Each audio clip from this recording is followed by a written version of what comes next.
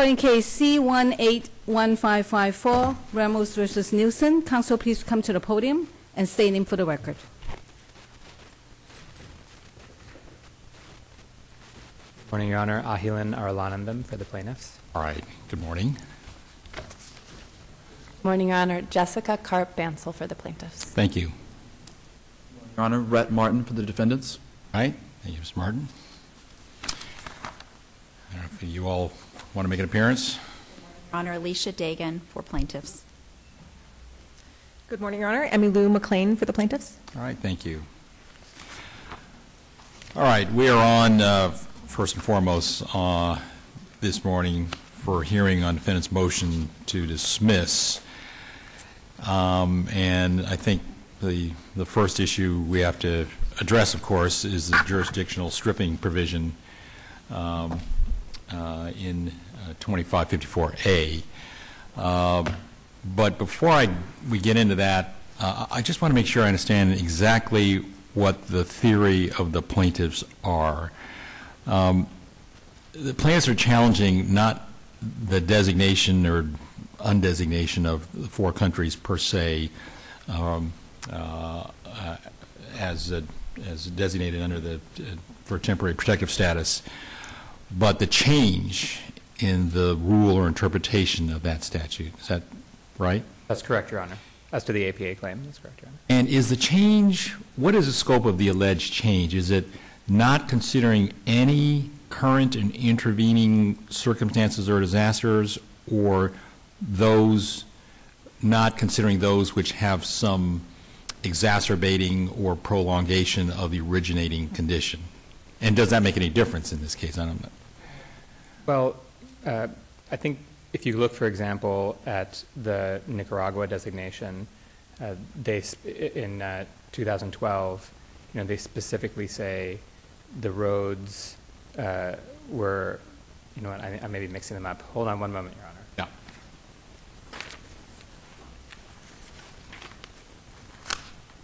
At the El Salvador designation, Your Honor, you know, in 2012, when they're extending, and they say, the roads have, uh, from the earthquake damage, have been repaired, but there's other problems with the roads. If you look at Haiti, uh, Haiti is designated because of an earthquake in 2010, but then when it's extended, they look to Hurricane Matthew.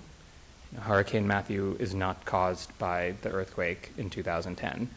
Um, So I think it's clear that there is no way to. And it was not extended because under the rubric of Hurricane Matthew having exacerbated the conditions of the earthquake I mean, itself was a condition that was sufficient to extend TPS. the- the exception that you're describing could, I suppose, swallow the rule. Uh, It's, it's difficult at this point to know uh, whether, you know, uh, how now the government is trying to draw the line to justify the change that's happened. Uh, But if you look at the statements that were made by the government officials, and they said, for example, Secretary Kelly, the program TPS is for a specific event. In Haiti, it was the earthquake. Haiti had horrible conditions before the earthquake. Those conditions aren't much better after, but the earthquake was why TPS was granted. That's how I have to look at it. So does that, does that permit consideration of Hurricane Matthew because it has an exacerbating effect on the earthquake? You know, I don't know, but they didn't mention Hurricane Matthew when they terminated TPS for Haiti, and they had mentioned it previously. So, you know, whether the government now uh, wants to try and shoehorn what is, uh, we allege, a change uh, by sort of creating a new conceptual framework and saying you can put the, the uh, you know, intervening conditions that they used to consider into this box, um, I think that's going to be a factual, I mean, uh, that is a factual dispute then, and we're entitled to show that, you know, their post hoc explanatory theory can't actually capture all of what, what the actual phenomena here. You know, so what we're alleging is it used to focus, permit consideration of intervening conditions. Now they Irrespective of whether it was specifically tied to exacerbating an original condition, some of them were independent of the original condition. Yes, Your Honor, that it used to permit them regardless of whether or not they were actually exacerbating, uh, and that now the focus is on the originating condition uh, and, and you don't look at whether they're um, exacerbating. Uh, But again, as I said, if, if they want to try to shoehorn everything into this, uh, you know, new, new account of their change practice, uh, that's a factual dispute, and we're entitled to say that, oh, that Secretary Kelly didn't understand it that way when he terminated Haiti or when he terminated TPS for El Salvador. Does that answer your question, Your Honor? Yeah, it does. We may get into some factual questions. If you get into like Darfur, uh, uh, Sudan, for instance, there, there, uh, that probably has the most extensive analysis of current conditions that are, uh, compared to some other ones. If you look at El Salvador, uh, in the 2016 extension, there are a number of things that were referenced, um, such as water access, um, uh, coffee rust epidemic, uh, various things that uh, were cited uh, and they, they were omitted or not addressed in the 2018 termination. I guess that's your point. So um, maybe there's a bit of a mixed record here, and some some uh, statements are a bit more robust than others. But but I just want to make sure I understand the theory of your case.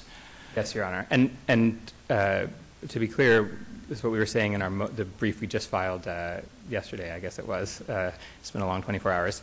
The, if, if in fact uh, we have not um, adequately pled, even for 12b6 purposes, that there is uh, an unexplained departure from the prior practice, then we lose on 12b6, but that for the APA claim. But that has nothing to do with whether there's a subject matter jurisdiction dispute, 12b1 dispute, based on 1254a uh, b5, the, the jurisdiction stripping provision.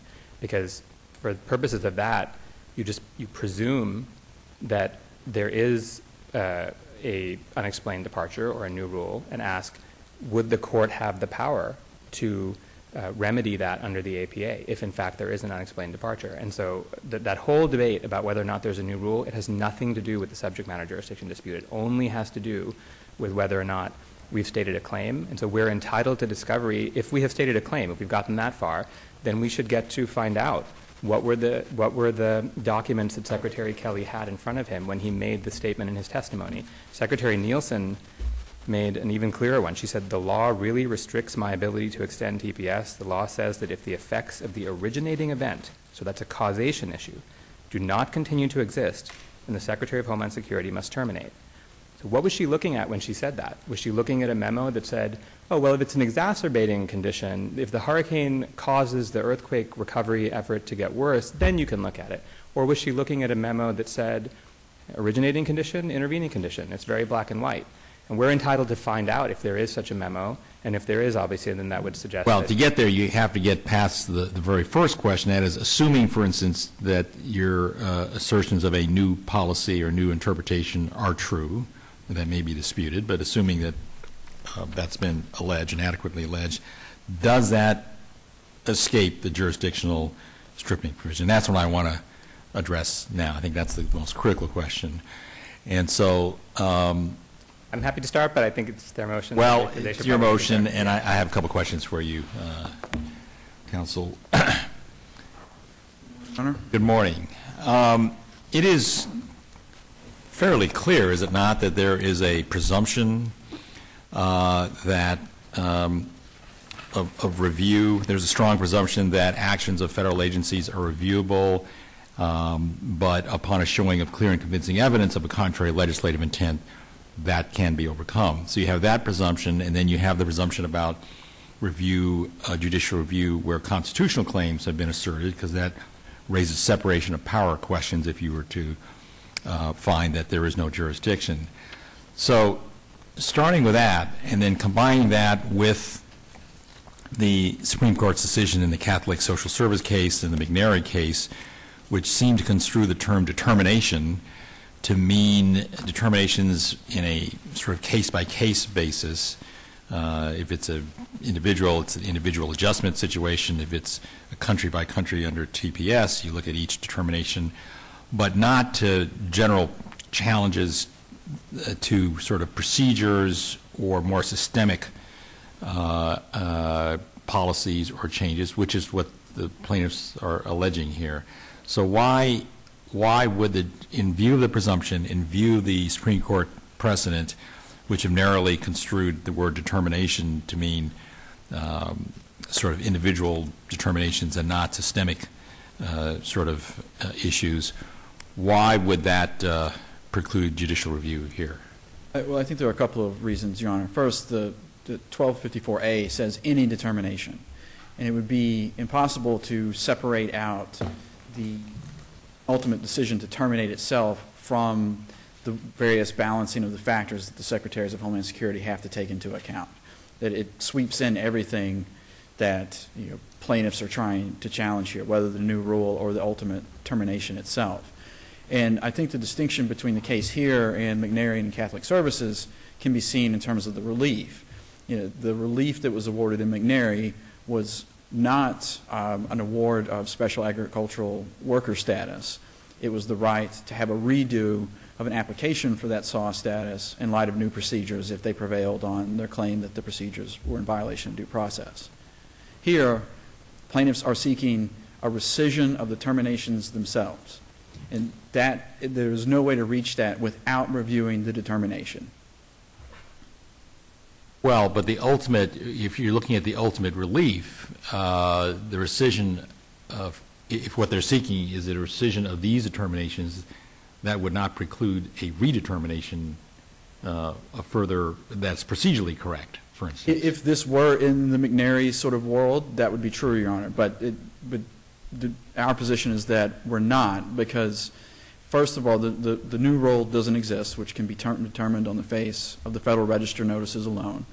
And secondly, even if it did, the, what they're calling a new rule is part and parcel of the determination itself. There is no way to segregate out the decision to terminate But wasn't that true in, in, in, in Catholic uh, Social Services in McNary? I mean, they were challenging the interpret, INS's interpretation uh, of certain criteria, which determined whether adjustment of status was, was available or not. I mean, so it informed the determination in, in the case, and in fact, they said that ultimately, uh, in a deportation context, perhaps, you know, uh, these issues could be raised. So it does, it is tied up in both situations. The determination of the systemic problem has an impact on the individual case. I don't know how you can separate that in either one of those. Uh, Well, i- in Catholic services, for instance, it was a rulemaking. You know, it was a a formal rule that was being challenged, or regulation that was being challenged. And in McNary, it was the formalized procedures about how you would apply for this status. There's nothing like that here. What we're challenging here is the Secretary's discretionary weighing of the statutory factors that lies, that has been entrusted to the Secretary by Congress and lies uniquely within the executive's competency over foreign policy. That there is no way to, to extrapolate from that a rule that says, uh, you know, this particular factor must be weighed this much and this factor must be weighed another, or how the secretary has come to that decision. This is, the determination encompasses, as it says in the statute, any determination encompasses every aspect of the decision-making process. And so for So you would emphasize uh, the word "any"? Is that, is that why it's broader than just determination? I'm not sure what other word could be used when describing, if you intended to, to focus on the determination country by country, the designation, I don't know what other word you would use besides "any." Uh, Well, that is emphasizing that it's it all encompassing in terms of the factors that the secretaries are considering. And it's also worth noting that the legislative history says none of the decisions with respect to TPS should be subject judicial, to judicial review. But it's not specific in terms of, uh, again, it- it that sort of echoes the language of the statute. I'm not sure it sheds much light on, for instance, uh, challenges to constitutional uh, or systemic type issues. Well, it- it- our position would be that none and any are both sort of unqualified terms that sweep within them uh, every aspect of the decision-making process. What about the fact that in McNary, the Supreme Court, um, as part of its analysis, talks about uh, if judicial review were limited, uh, that is a challenge to- that's of this nature here, whether it's a constitutional challenge or to the interpretation stat uh, challenge, were to be reviewed, it would be only in the context of, for instance, a deportation, if it got to the removal proceeding, and there'd be judicial review, but that would be limited to the administrative record and subject to uh, narrow abuse of discretion review, which the court said would not be consistent normally with a constitutional challenge, which then suggests that Congress did not intend to cabin everything um, with the with the jurisdictional stripping statute and to allow room for uh, a broader constitutional challenge. Well, th- uh, whether it's framed as an APA challenge or a constitutional challenge, Your Honor, that at the end of the day, the challenge would require the judiciary to make its own independent assessment of the factors and the, the sufficiency of the explanation given of those factors in the Federal Register notices. And it is that that the, the jurisdiction prohibition addresses. Well, uh, I'm not sure I understand that. So you're saying if there's a constitutional challenge, that would be done within the framework of the APA, um, and, and therefore, even if that were allowed, you would still be limited to the record, that the APA scope of review would be no broader than uh, the scope of review on a removal order? Uh, Our position, yes, that the, the, the, if, if we're talking about the discovery issues for a moment, that the, the re- review here must at least start with the administrative record. Of course, there are exceptions under the APA.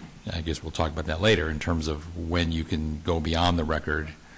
Um, But still, the, the court, notwithstanding all that, uh, in McNary case, in addition to the fact that the term "a determination" describes a single act rather than a group of decisions or a practice or procedure employed in making decisions, noted the, the sort of the implications. If you didn't allow for judicial review of constitutional claims or a, an interpretation claim that's systemic, the, the, the normal route of judicial review would be so constricted in the context of an adjustment of status or removal proceeding that uh, that would be inconsistent with the normal way you adjudicate constitutional or broader claims.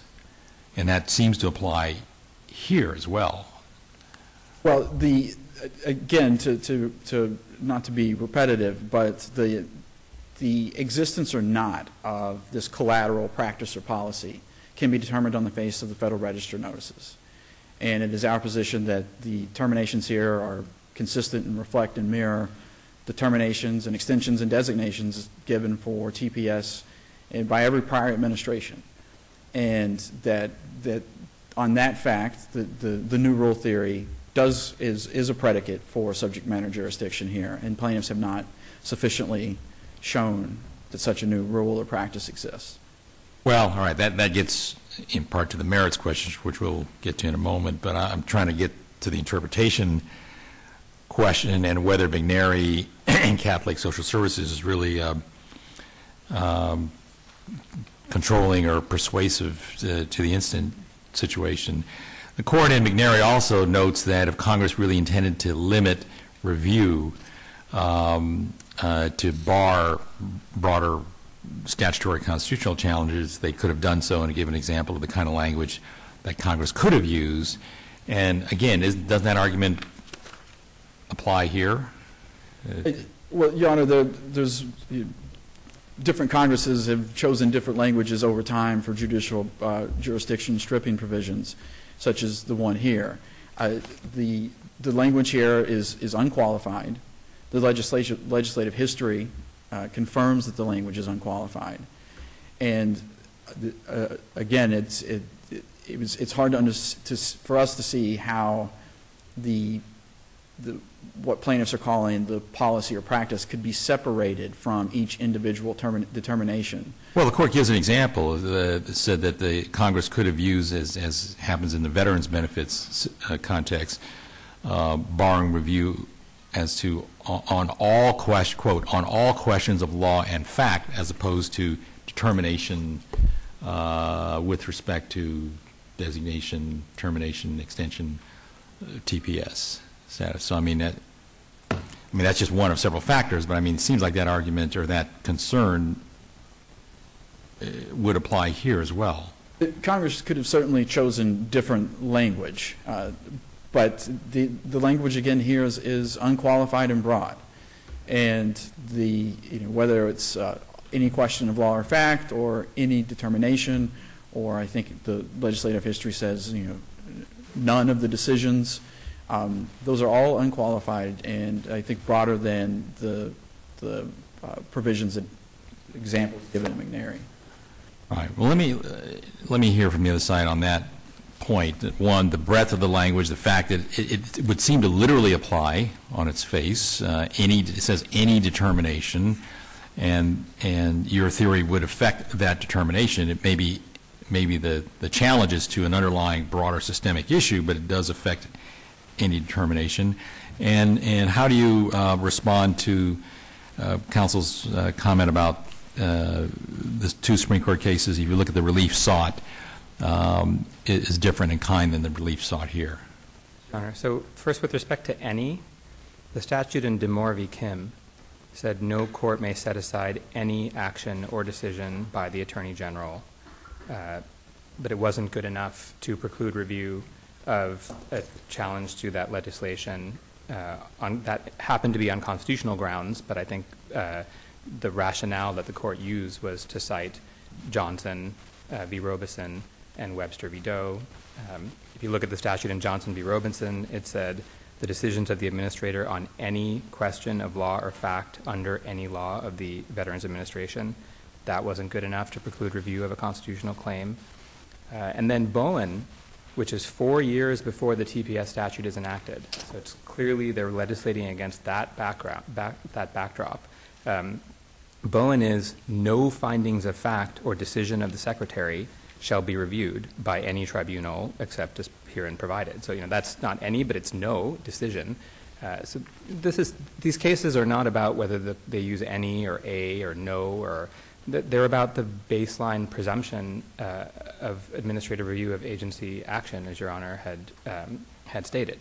Uh, and some of these statutes are quite a lot clearer than uh, the statute that we have here, unless you say that you intend to preclude constitutional claims, and unless you specify the scope beyond just determination and say we're talking about something much broader, the courts do not read those to preclude review of, constitu- of, um, of uh, claims that do not go the, to the particular determination or decision or whatever you, whatever you want to call it.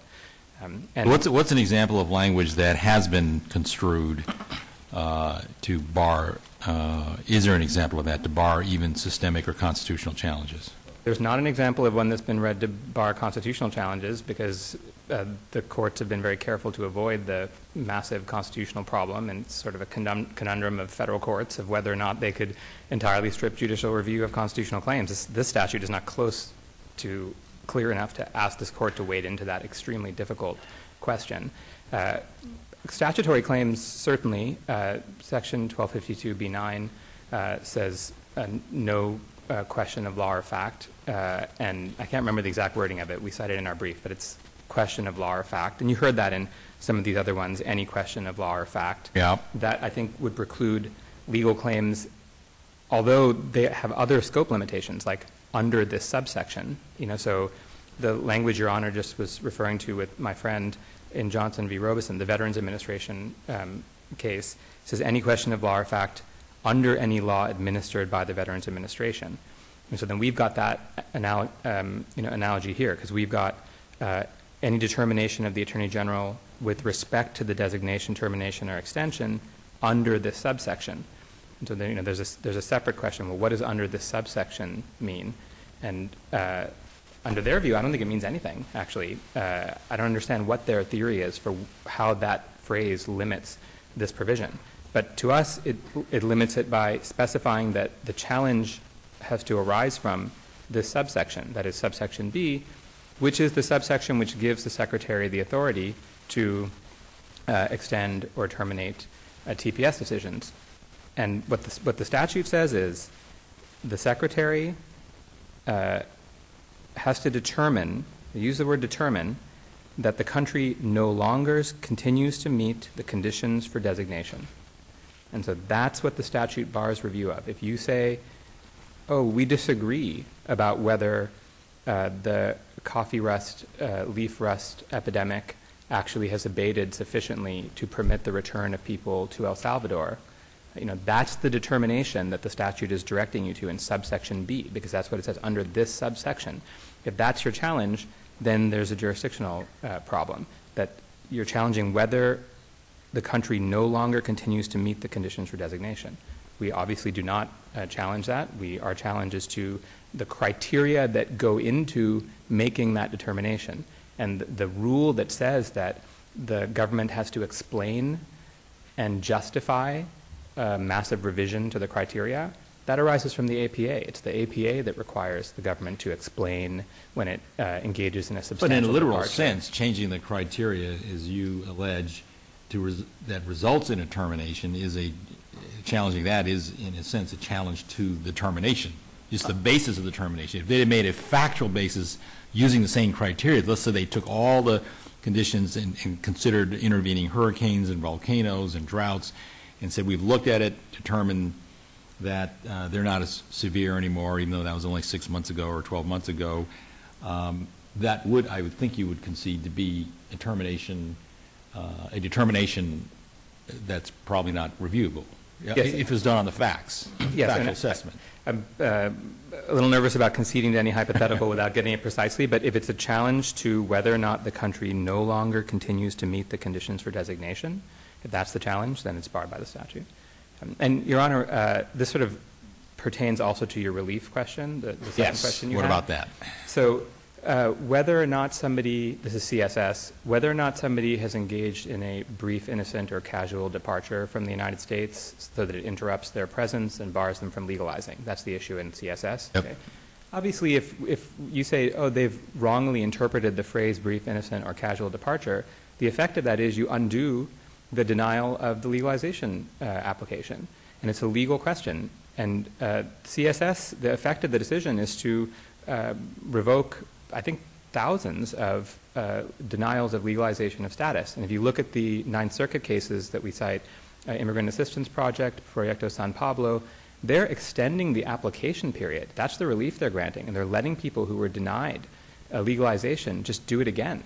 Uh, So the, and this is standard agency law practice, right? The court sets aside the administrative agency's decision, and you vacate the decision, and that's the relief that you're granted, and that's the relief we seek here. Vacate, uh, set aside the TPS terminations. That doesn't mean that they're barred by the stripping statutes. It always depends on the reason why you are saying the action was illegal. And if the reason why the action was illegal is because it was unconstitutional, or because there was a problem with the legal interpretation of the underlying rule, then the courts permit it. And the same is true of McNary. You can see it says in the decision they reopening uh, the cases of people who were denied legalization under the Special Agricultural Worker Program.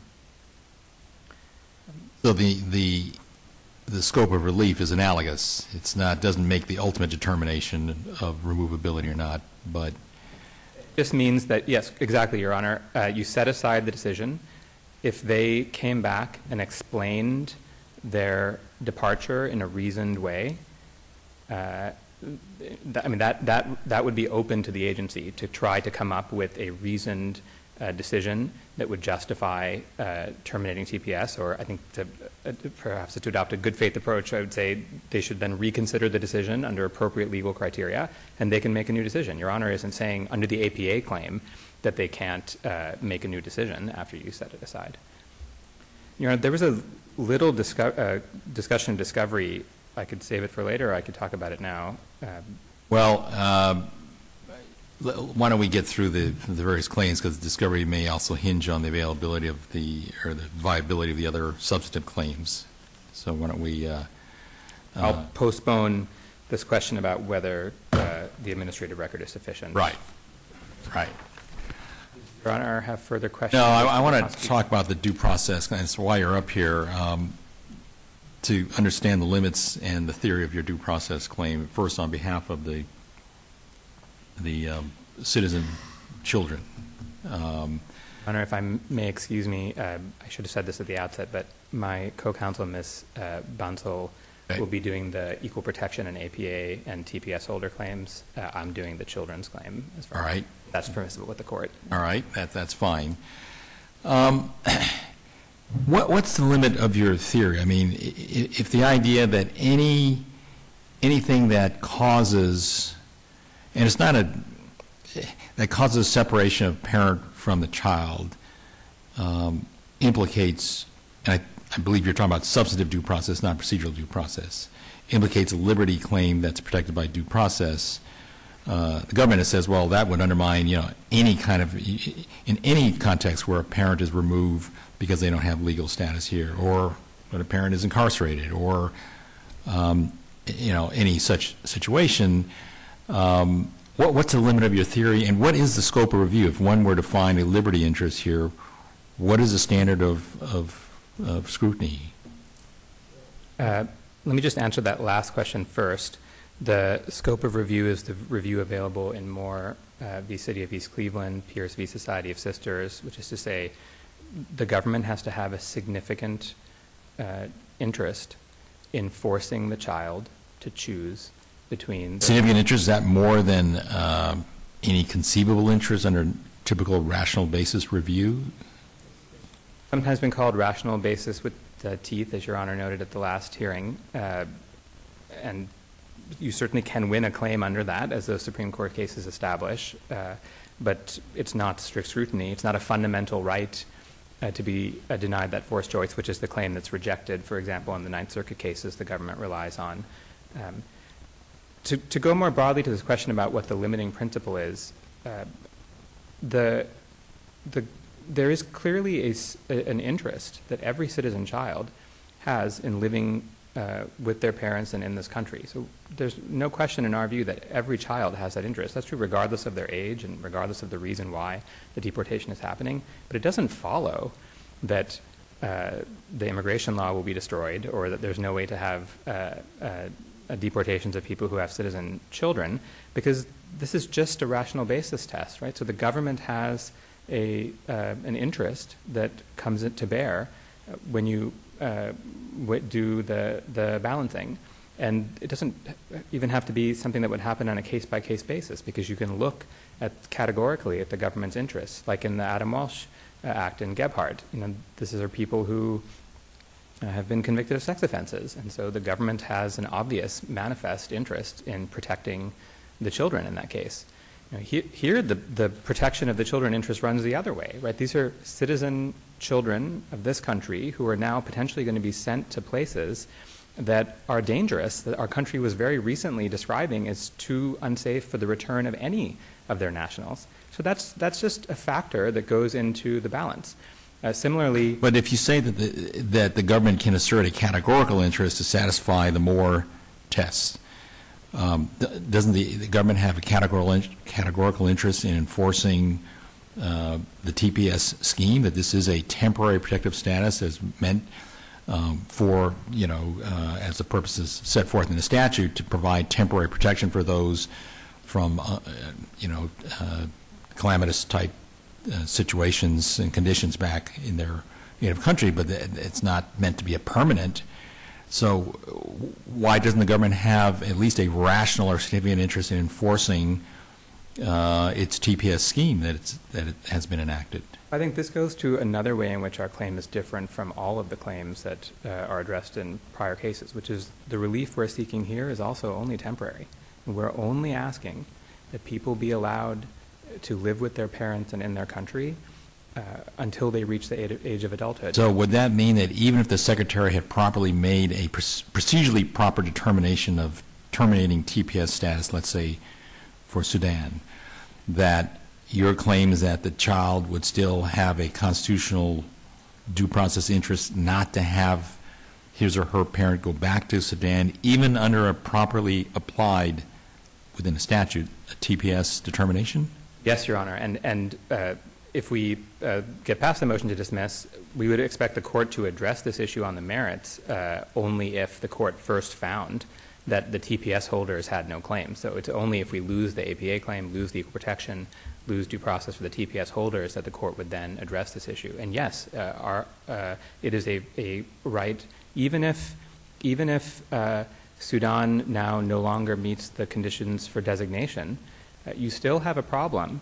You have, uh, uh, you know, H. Nida Senemat wants to play flag football next year. You know, they don't play flag football in Haiti. She's a teenager. She's grown up here her whole life. Even if the uh, secretary dots all the i's and crosses all the t's in terminating TPS, you still have now children having uh, having to make this very very difficult forced choice. And so the question the due process clause asks is, does the government have a significant interest in forcing them to make that choice now, rather than allowing them to wait until they become adults, when uh, you know, obviously children leave their, uh, you know, parents and go off into the world uh, uh, once, once they become adults. And, uh, And that would apply regardless of the legal, sta- putting aside TPS, wouldn't your argument apply regardless of the legal immigration status of the parent? no, Your Honor. Uh, again, it, it turns on uh, the government's interests in each particular context. So, for example, uh, a person who has been here unlawfully, and, and the government then has a stronger interest in enforcing the immigration law than it does for people who have lived here lawfully. But That would overcome the, the due process rights of the citizen child who was born here, for instance, and would be forced with the same sort of Hobson's choice that you, that you posit of having to, re- having to go back with their undocumented parent to, to their home native, to the parent's native country, or live without that parent. That same Hobson's choice would obtain. But you're saying in that instance, there's a significant government interest if the person is not here legally. Well, it's a different question, Your Honor. Uh, that is, I mean, I'm not saying that that person always loses, or you know, maybe they lose, maybe they win, but it's a different question because the government's interest is manifestly stronger. And this just goes to one other point I want to make on this, Your Honor. There's no question that you know, this claim that we're raising, there's no case before that has addressed the same claim. It's novel. But that's not surprising because what we have here is a situation where the government is, as far as we can tell, this has not happened in our country's history. You've got a set of 200, actually 400,000 people, all TPS holders, but you know more than 200,000 from these countries, who have lived here lawfully for at least eight years, and in many cases for decades. So they've lived here lawfully for 20 years, and now there's not any allegation that they individually did anything wrong.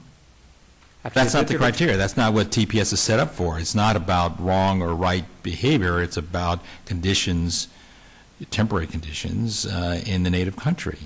Yeah, absolutely, Your Honor. This is an argument that uh, even if the statute were properly followed, where you've allowed people to live here lawfully for uh, 20 years, uh, that you cannot then, I mean, people, often people have children when they have lived in a place for 20 years, right? So then you, it gives rise to different kinds of rights than what we have seen in other cases. And if the government had repeatedly, for example, say, canceled the green cards of people who were married on the ground that we don't want to favor those anymore, or said children who are adopted no longer can adjust their status, and so we're getting rid of that. Then we would have seen cases like this, and this issue would have been addressed. Those are actually, I think, closer analogies to what we have here. People lawfully living here for a long period of time. Yes, under a temporary program, it's true, but they're lawfully living here, and then, through no fault of their own, the government seeks to take away uh, their status, which puts their children then into this impossible choice. And that's the reason why I think it's just it's different from a situation Your Honor describes, where well, if a person's unlawfully lived here for a long time, well, the government hasn't blessed their presence, and so its its interest in enforcing the immigration law is greater in that instance. You know, a person who Well, why is it greater than, than allowing somebody to come conditionally, subject to certain conditions, and then determining those conditions no longer apply? Uh, Why doesn't the government have that same interest saying in enforcing that law as it would enforcing a law that uh, restricts entry in the first place? Um, Again, Your Honor, I think it, it really turns a lot on the fact that this is temporary. The relief that we're talking about that would be granted here in order to vindicate this constitutional right is also still temporary. So it doesn't change the, it doesn't change the uh, temporary nature of the program. It just provides that people who have uh, children, those school-age children, uh, will, they'll still be forced into a brutal choice, but they'll be forced into it once they're adults rather than while they're still children. And, and I, I think that certainly renders it different uh, from all of the cases that uh, both sides uh, have cited before, where what people are seeking is the right to live here permanently. So if you look at the suspension of deportation cases, or in Gebhardt, it's adjustment of status, in Morales, it's to adjust through marriage. These people, all of these people are trying to win the right to permanently reside in the United States. And usually, Gebhardt is an unusual exception. Usually, the plaintiff is the non-citizen. You know, and here, I think if you look at it from the child's perspective, because our, our plaintiff, the lead plaintiff in this case is Crista Ramos. You know, she's a she's a teenager. She's here in the courtroom today, actually, um, as are some of the other um, children uh, and also their parents in this case. Uh, you know, she is a teenager who has grown up in this country. From her perspective, um, there's no um, there's no uh, government interest in, in her being forced to be sent to a country that is it's, it's the highest murder rate in the world outside of a war zone. Uh, El Salvador is, um, and and But the action being challenged, that's a consequence of the, uh, of enforcement. I mean, the action is not directly on her. She's not being ordered to be deported. S- The question is, does the government have an interest in removing those who no longer enjoy TPS status or any other legal status? And I guess the way you would phrase it is removing them now as opposed to waiting until uh, their child reaches majority age. that's correct, Your Honor. And, and, and, uh, you know, I, I would assume, I'll, I'll give counsel a chance to respond, but I assume the response is, you know, there is an immigration law that sets forth certain requirements and priorities in terms of uh, who can be admitted, under what circumstances, and for how long, and the government has at least a, a general categorical interest in being able to enforce those laws, so long as the laws themselves don't contravene the Constitution. For instance, if they're uh, you know, if there's another constitutional problem, equal protection problem, it's different. But if it's a lawfully enacted statute, doesn't the government uh, have, and this is not a compelling interest test, this is, as you say, rational basis with a bite, um, not sure exactly what that means, but a, a very uh, significantly lower standard of review constitutionally. Your Honor, I, think, um, if I may, when you say, well, it has to be duly enacted, there may be other constitutional constraints, I think that is the central issue for us as to whether or not we're going to survive the motion to dismiss on this claim. If the government, for example, could discriminate on the basis of race and say, we want to get rid of all the people who, uh, you know, are, uh, I, I won't use the um, ugly words, but, you know, made some racist statement, and then if Congress wrote a law that, that enacted that, the Equal Protection Clause would constrain the government's power to deport people on that basis. The First Amendment does. There's actually cases that hold that, Bridges v. Wixon and Bridges v. California. Right, so that's where there are particular problems, constitutional problems with the statute or the ordinance or or the executive, or whatever it is that's being challenged. Th- I- I'm asking as a standalone, this due process argument, which assumes there's no other problems in order to be able to assert this claim. Uh, Now, if it's dependent on an APA problem, on an uh, equal protection problem, okay, then I can understand that. But if it's, if it's a standalone and you're saying even if there's no constitutional, other constitutional problem with the statute, even if it complies with the APA, even if it's administered consistent with the statute, um, that, that any termination of TPS status would have to give way to, uh, to the the minor's rights to have their parent with them. Yeah, and just let, let, the, the point of, um, uh, the point I was trying to make, perhaps not articulately enough earlier, was you could have a duly enacted statute that had an equal protection problem, or you could have one that was a problem just as applied, like in the First Amendment context, to this particular labor organizer or whatever it is, right? Here, the substantive due process component of the due process clause is another substantive constraint on the government's power to Uh, write immigration laws, even if they are otherwise duly enacted. They don't come up a lot because the government doesn't do this kind of thing very much. But if the government now wants to force a set of children into this horrific choice, there is a substantive due process body of doctrine. There's plenty of cases that say the family integrity right is fundamental, the right to stay in the country is, is absolute. There's you, there are cases we cited them where Again, you why, why wouldn't that choices. apply to every deportation of a parent? Right. So, so it doesn't apply to every deportation because it only seeks temporary uh, protection. It doesn't. It, we're talking about sending people to countries that are that have been found to be uh, uh, dangerous, and it's limited to people who were lawfully present for a long period of time. If you're here for less than five years, this doesn't even kick But in. But if somebody were here lawfully but lost that right because, you know, conduct, for instance, lost, lost their permanent residency right or lost uh, whatever, you know, temporary status right, they're here for a period. And if they're here on a student visa or work visa, and then that ends, but they had a child during his, they're here lawfully. But at that point, that lawful period ends, the visa may be limited to five years or something, Are you saying if they've had a child, they can't be removed? If the, if they then lose that protection? They've been here lawfully. Right, so, so, so the lawful, I mean, there's two different hypotheticals there. The lawful permanent resident, uh, the, the statute, the way it's written, you don't lose your status unless you've done something wrong.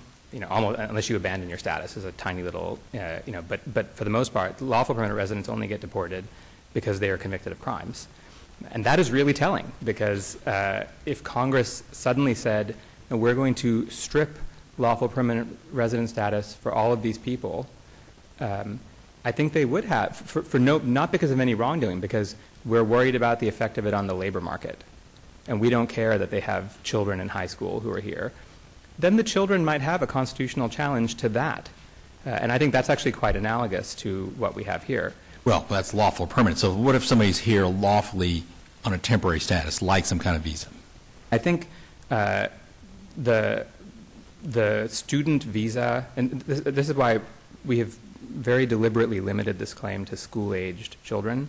That's both the top barrier, that is, once you become an adult, the right no longer, um, the interest, we're, not asserting that that interest justifies this, and also the young, young age. And if you're younger than five, uh, we're also asserting that there, um, you're not part of our class. And the reason for that, there's two reasons for that. You know, one reason is because I think it is much harder for a school-age child to move. I mean, most people wouldn't even move their school-age children from, you know, in high school from, I don't know, from LA to San Francisco or something, you know, let alone to, to Haiti or Sudan. Uh, so there's this additional trauma on the child. You know, but the other reason for it, Your Honor, is because the government then has an interest in avoiding I don't even like to use these words, but like the anchor baby problem, or, and that's what these cases are talking about, is like people, you know, sort of the government's interest, you'll, un, you'll undermine the immigration law if people have children. But here, the government can run a temporary program, and it can run student visas, and it can have all worker visas, all these things for periods before the citizen children become of school age. And once they become of school age, it's a more complicated question. You know, so, you know, your, your hypothetical, you know, the, the narrow one where I think there might be a similar claim. You know, I don't know. There's, there's a lot of other interests involved, but a, a person who came here on a student visa and stayed here more than uh, five or eight years, eight is the, the shortest time we have in this case, uh, you know, then uh, you know, perhaps uh, you know, they would have a, um, you know, a, a similar argument. Uh, and that's really like the only hypothetical which I think actually could be you know, potentially similar to the one that we have here. I mean, that, that hasn't really arisen in the, in the cases much. That suggests that every time, I mean, when the government issues some kind of temporary status for somebody, that, that the interest in enforcing the deadlines and the temporary nature of that is not significant, not rational, not whatever the standard is, enough to override, if they have a child, the child's due process rights to have their, to stay here and have their parents stay with them. Well, I'd say two things about that. You know, first, the the government has five years. They can extend TPS once, twice. I mean, if these are 18-month extensions, you know, even three times. When it goes beyond that, when you're telling people you can live here for more than five years, that implicates different interests for their children. You know, their children then are growing up. That's a that's a five-year-old who's grown up. It almost becomes like an estoppel effect on the government. If the government goes beyond five years, the government risks not being able to control and, and terminate TPS status, at least for those who have children? Um, un- until they reach the age of majority, Your Honor. And, and the alternative, Your Honor, the alternative view, the government's view, uh, and what you'd have to accept, I think, to accept the opposite is that there is no family integrity right here. Right? That the immigration law always categorically trumps the family integrity right no matter what. Bustamante Well, in between, you say there's a family integrity right that's acknowledged that may be sufficient to implicate due process, but the interest in exercising a validly enacted law that's not tainted in another, some other constitutional way um, survives rational basis review. Right, and I, and I guess I don't know why substantive due process in that sense would be um, subordinated uh, in a way and rendered it weaker somehow than uh, equal protection, the First Amendment, other. I, I, don't, I don't think there's any doctrinal basis for um, that kind of uh, you know lower treatment. And I also Well, yes, there is, because you, you are asserting under the Equal Protection Clause not just rational basis, but strict scrutiny, because this is a, based on uh, racial or ethnic animus. Right. That's a different level of review, and if that if that is a cognizable claim, if that claim can be heard with, you know, this court has jurisdiction over it, and you're able to prove that, that's a whole different Right. animal. If you were just using regular rational basis review, courts have rejected all sorts of classifications in the immigration context in that sense. Yes, yes. My, my point only, Your Honor, is that, uh, is that under the government's view, there is actually no substantive due process right that's enforceable here at all, because it's immigration law. And so, you know, some of these hypotheticals, I'd be curious to hear what they think about those. If, could the government just get rid of all the, um, say, adoptions uh, on the basis of uh, uh, uh, people who've gotten green cards through adoptions? They just pass a law tomorrow that says, okay, uh, those are gone, or all the marriages that are based on green cards, those are gone. And say the, the government has an interest here, it's duly enacted. You can, you can have in your deportation hearing, you can challenge whether or not you got your green card through adoption or your green card through marriage. Uh, so you have all the process in the world, but there's no substantive problem there. You know, and our, our, our view is there is a substantive uh, right that's implicated in these cases. And Bustamante uh, and Cardenas and uh, Din v. You know, the, the cases that are about people who are marrying people abroad, right? They're U.S. citizens. They're seeking to marry non-citizens who are abroad. Bustamante is very clear that this implicates the substantive, that's the word they use, the substantive right uh, to uh, uh, no government inter- interference in matters of uh, marriage and family or, you know, something like that, uh, and citing the, the cases that we have been talking about. So the Ninth Circuit has recognized that there is obviously some substantive right here that has to be balanced. And so then the question is whether these very particular factors, where the people have lived here lawfully, where they're going, the children are going to be sent to countries that are unsafe, where it's a temporary protection, whether those are enough to alter the balancing calculus here uh, compared to you know these many other situations where the interests are All right, different. Let me hear from the government. Uh, The government does argue in its brief that there's no, not even a cognizable interest that if it were to be recognized is overridden fairly easily. I think the government is arguing there's no due process right at all to be recognized. Is that the position? Uh, Yes, I mean, that is the, the first point, Your Honor, that there is no right. But uh, it- even if we were in a world where there were some process of, of the type in Bustamante or or Cardenas, it's important that the standard there was the government only had to give a uh, facially legitimate bona fide reason, and that was the end of the matter. Um, So this, you know, the idea that those cases would somehow support the, you know, the, the, the types of scrutiny of the Secretaries of Homeland Security's decisions here, I think is, um, would, would be unwarranted.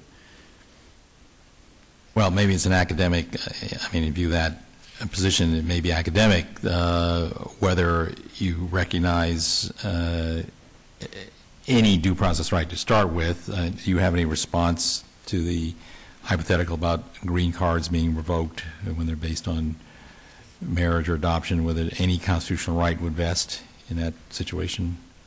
Uh, the the government's position is that no constitutional right would vest in that position, Your Honor. But even if it did, you'd, you'd have, well, if it did, then you'd have to look at whether there's, I guess as you put it, a facially uh, legitimate, valid reason. Bona fide reason. Bona fide reason.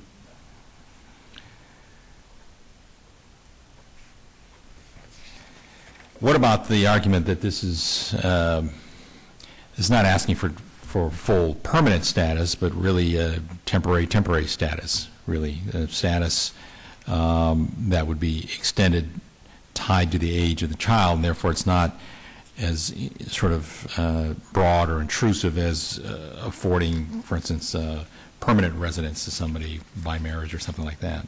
Well, I think two things, Your Honor. First, that's inviting this court to, you know, create a, a basically a new immigration status out of whole cloth, uh, and, which goes to the second point, which is that these types of fixes are appropriate for Congress. That the, the, you know, the concerns that were noted by plaintiffs' counsel are, are, are you know, legitimate concerns. It, but we have a branch of government that is entrusted with remedying that situation, and that this is a legislative fix. It's not appropriate for um, you know, the judicial construction of a new type of immigration statute.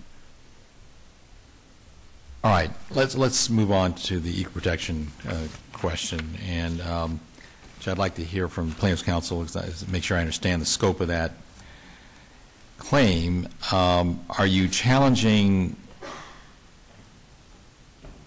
the actual termination, the determination to terminate the status, TPS status of these four countries, both as, uh, sort of directly as well as challenging the change in rule as violatively, or just the change in rule being motivated by improper purposes?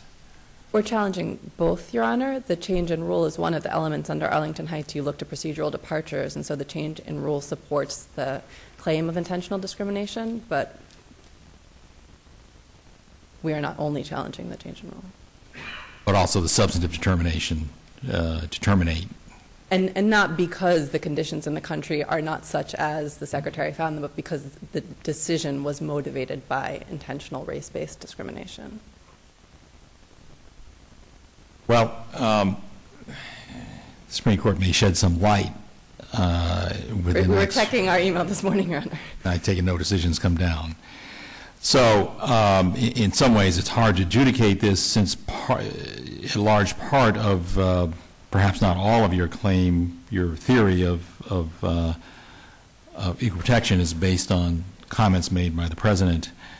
Um, And I don't know how much useful it'll be to explore uh, the issue, since I think the Supreme Court may be looking at that, but it does raise the question of if you, number one, can you consider those comments uh, made?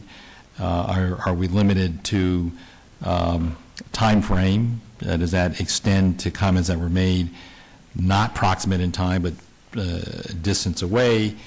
Uh, Can you consider President's uh, comments made while he was a candidate and not a president?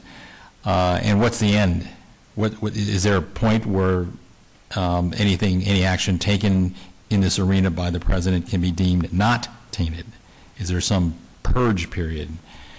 Um, I I assume the court is going to, uh, may make some comment on that, but in case it doesn't, I I would like to hear your response to the the limits problem.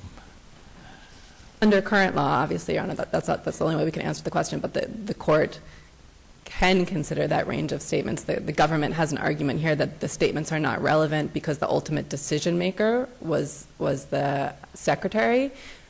That argument clearly fails under the, the cat's paw theory of discrimination, which is what the court in the Eastern District of New York found in the Batalla Vidal case. Yes, I'm not, I'm not so concerned with who's making the statement. I- I'm more concerned with consider it or not. how far back can you go, what, how much of a uh, causal relationship needs to be uh, demonstrated as a foundation to consider these, and what's the limit? I understand, Your Honor. As to the limit, under the Arlington Heights test, it's a very sensitive inquiry, I think is the word the court uses. You look at the totality of the circumstances. There is no one factor that is controlling. We would assume in good faith, Your Honor, that if this court were to find that the TPS terminations at issue here were infected by discriminatory animus, that the government would go back and make a good faith effort to redetermine the TPS designations in a constitutional manner. Um, and there is nothing under existing law that would prevent them from doing that even after a finding by this court about intentional discrimination. You could look to, for example, the, the zoning context. There have been, of course, many cases finding that a city made a discriminatory decision um, to deny a zoning application, and I'm not aware of anyone ever suggesting that the city could no longer deny any zoning applications in the future because that one instance was infected by discrimination. Each decision has to be looked at on its own terms. So if the subsequent decision is examined under the criteria of Arlington Heights, notwithstanding an earlier statement made by a decision maker, it it could still, it could withstand equal protection scrutiny? That's correct, Your Honor. So would the, would the proximity, um, what, what role does proximity and time have uh, to this analysis? I think proximity is relevant. Under Arlington Heights, the Ninth Circuit has been clear that this is, it's really a a question for a trier of fact, and any indication of discriminatory intent can lead to an issue that can only be resolved by the trier of fact, so proximity goes to that. Our allegations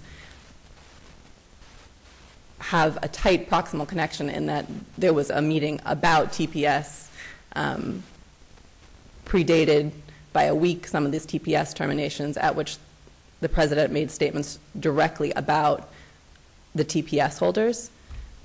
And as I recall, it was, it was in reference in, in more particularly uh, to Haiti, TPS holders from Haiti and El Salvador?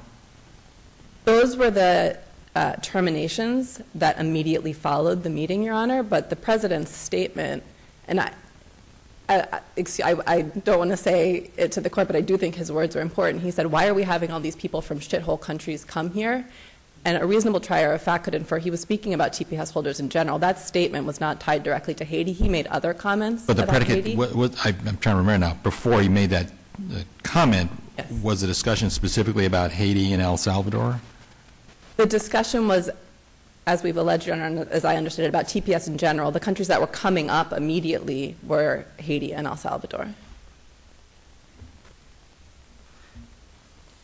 So you would, you would contend that his reference was to all TPS uh, holders?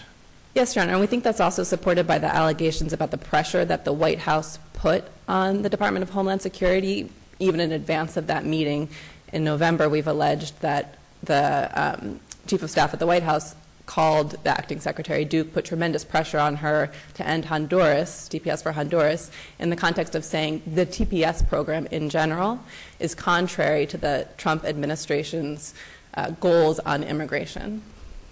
Well, I'm not sure that supports your claim of, of racial or ethnic or color animus, because if, if it's to end TPS generally as an immigration matter, which raises the question, you know, if, if there's a general attitude about immigration, uh, you might even call that anti-immigrant sort of sentiment, that's not necessarily racial animus. That could be, so I'm not sure, I, I was puzzled by that reference, I'm not sure how that supports your claim, a general uh, pressure to end and tighten up the TPS program is not necessarily one that's expressly, expressly race-based.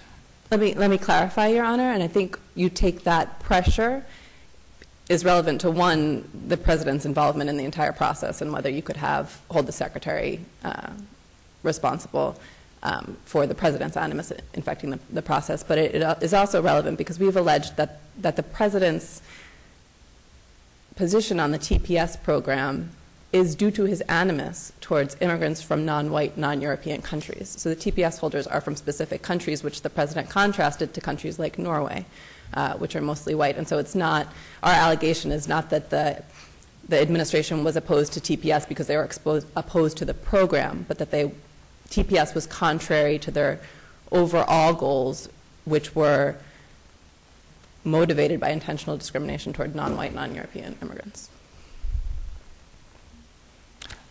All right. May- Uh, Yeah, go ahead. I- If I could address for a minute, Your Honor, the standard of review.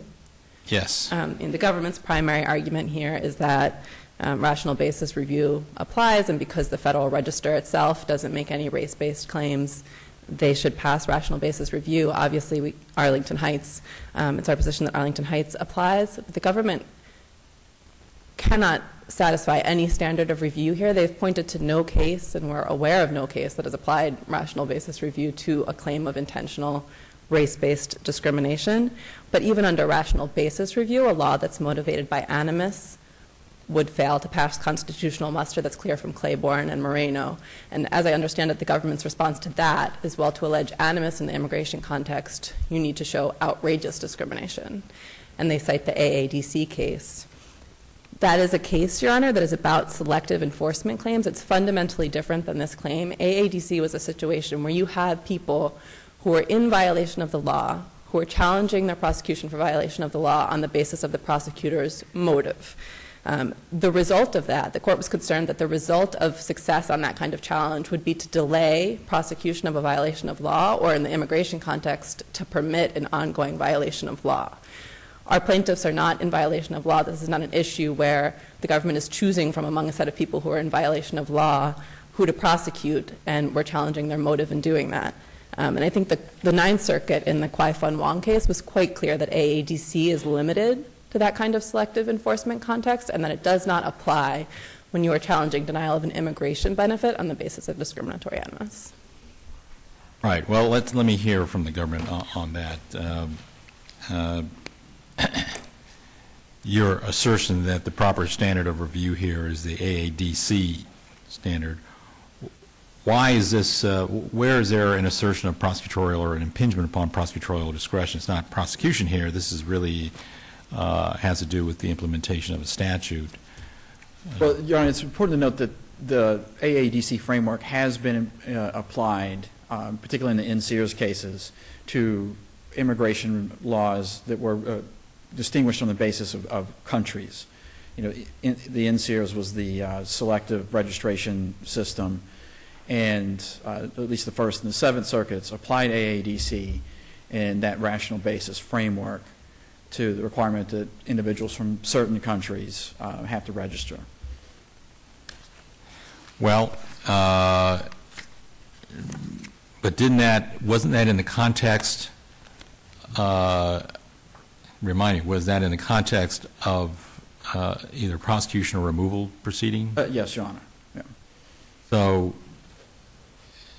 that, that makes some difference, does it not? I mean, uh, you- one could analogize uh, removal, once you get into removal proceedings, it's perhaps similar to a prosecution, and to say that people are selectively uh, being, you know, uh, chosen uh, for removal uh, in a way that uh, is is based on some impermissible, allegedly impermissible criteria, and therefore uh, seek seeking court intervention, trying to stop that. It's similar. Uh, maybe it's not it's not a criminal law enforcement, but it is a law enforcement action um, that's analogous to kind of a prosecution for purposes of the selective prosecution doctrine. So I could kind of see that, but here we're not at that stage. It seems to me.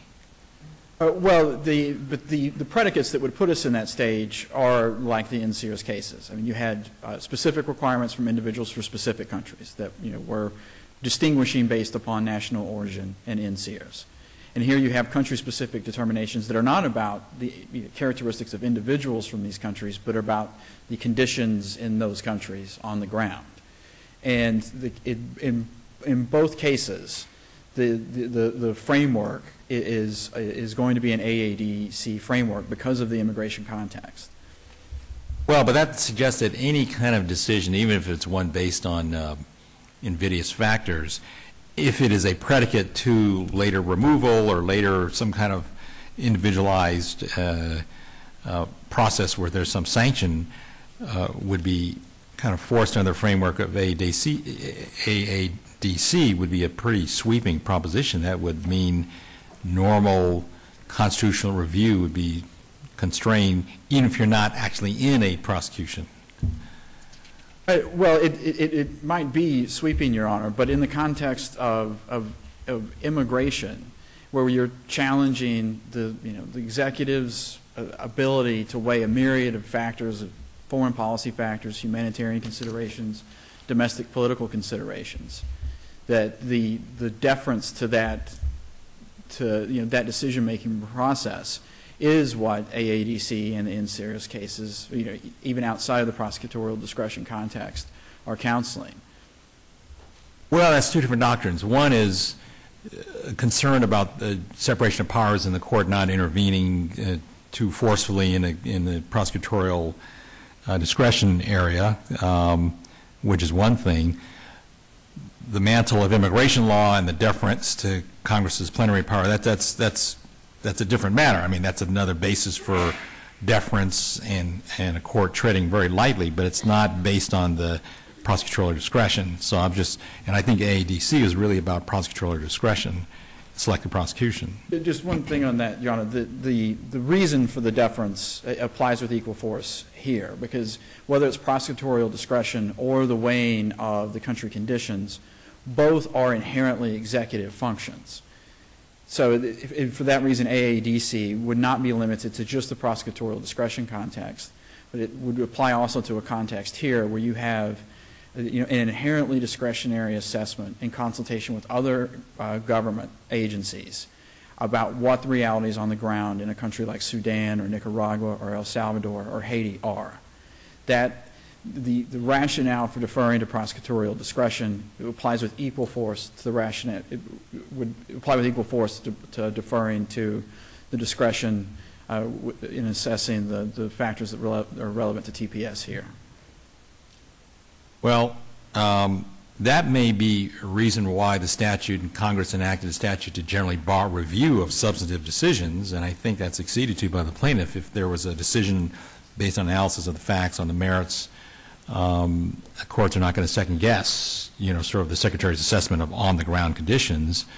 But if the decision proves to be motivated by racial animus uh, and not, uh, uh, uh, you know, by an actual assessment of things on the ground, uh, I'm not sure there's a reason for deference there, because then the, the whole reason to defer to the expertise of the agency and the the weighing of various considerations, um, if that's not what's really at play, then there's no basis for that kind of deference. So, I mean, I think the two sort of dovetail, that uh, unless you get out of that box, and if you can prove this was motivated by uh, a reason that's not based on the merits, there would be very, very limited judicial review. But if you can prove that, then it seems to me that normal scrutiny, strict scrutiny would apply to any governmental decision, as would apply to any governmental decision.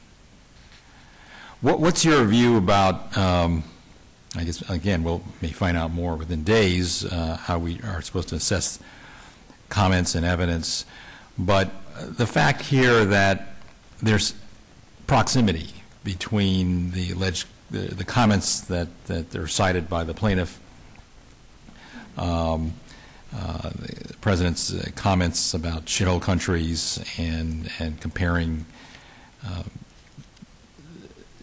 TPS countries to like Norway as an example, that it was within a short time, I think one week before, I think the first uh, decision was made with respect to Haiti, or was it Haiti? I I think, correct? I I might be confused in the time frame. I think those comments were made after um, Sudan and Nicaragua, After, after. and then, but before, well, it was within a week, is that, I recall that there was a, I'm fuzzy Comment. on the exact time frame. but within a short time.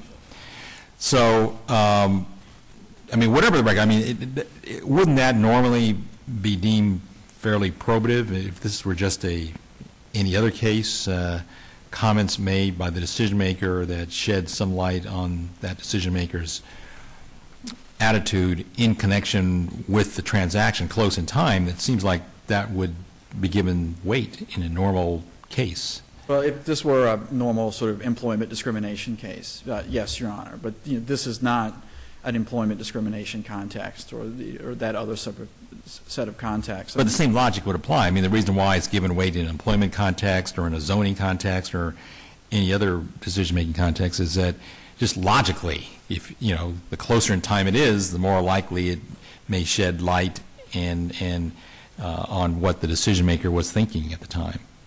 Well, Your Honor, again, this is, uh, you know, plaintiffs have expressed their view on this argument, but we have a congressionally designated decision-maker, who is a cabinet secretary, who makes these decisions. And that, that is a, reason why this isn't a normal context. And which, for that reason, President's comments are, our position is that are irrelevant to the decision-making process here. And in fact, that some of plaintiff's allegations are actually sort of self-refuting on this. You know, they make a lot of Secretary Kelly's alleged pressure on Acting Secretary Duke regarding Honduras. Yeah. She did not term- terminate Honduras. Well- Similarly, with South, with Sudan, she extended uh, South Sudan, and Secretary Nielsen has extend- extended Syria. So, you know, the, when you look at the particular allegations of, you know, discriminatory pressure here, they, they, they fall apart under that scrutiny.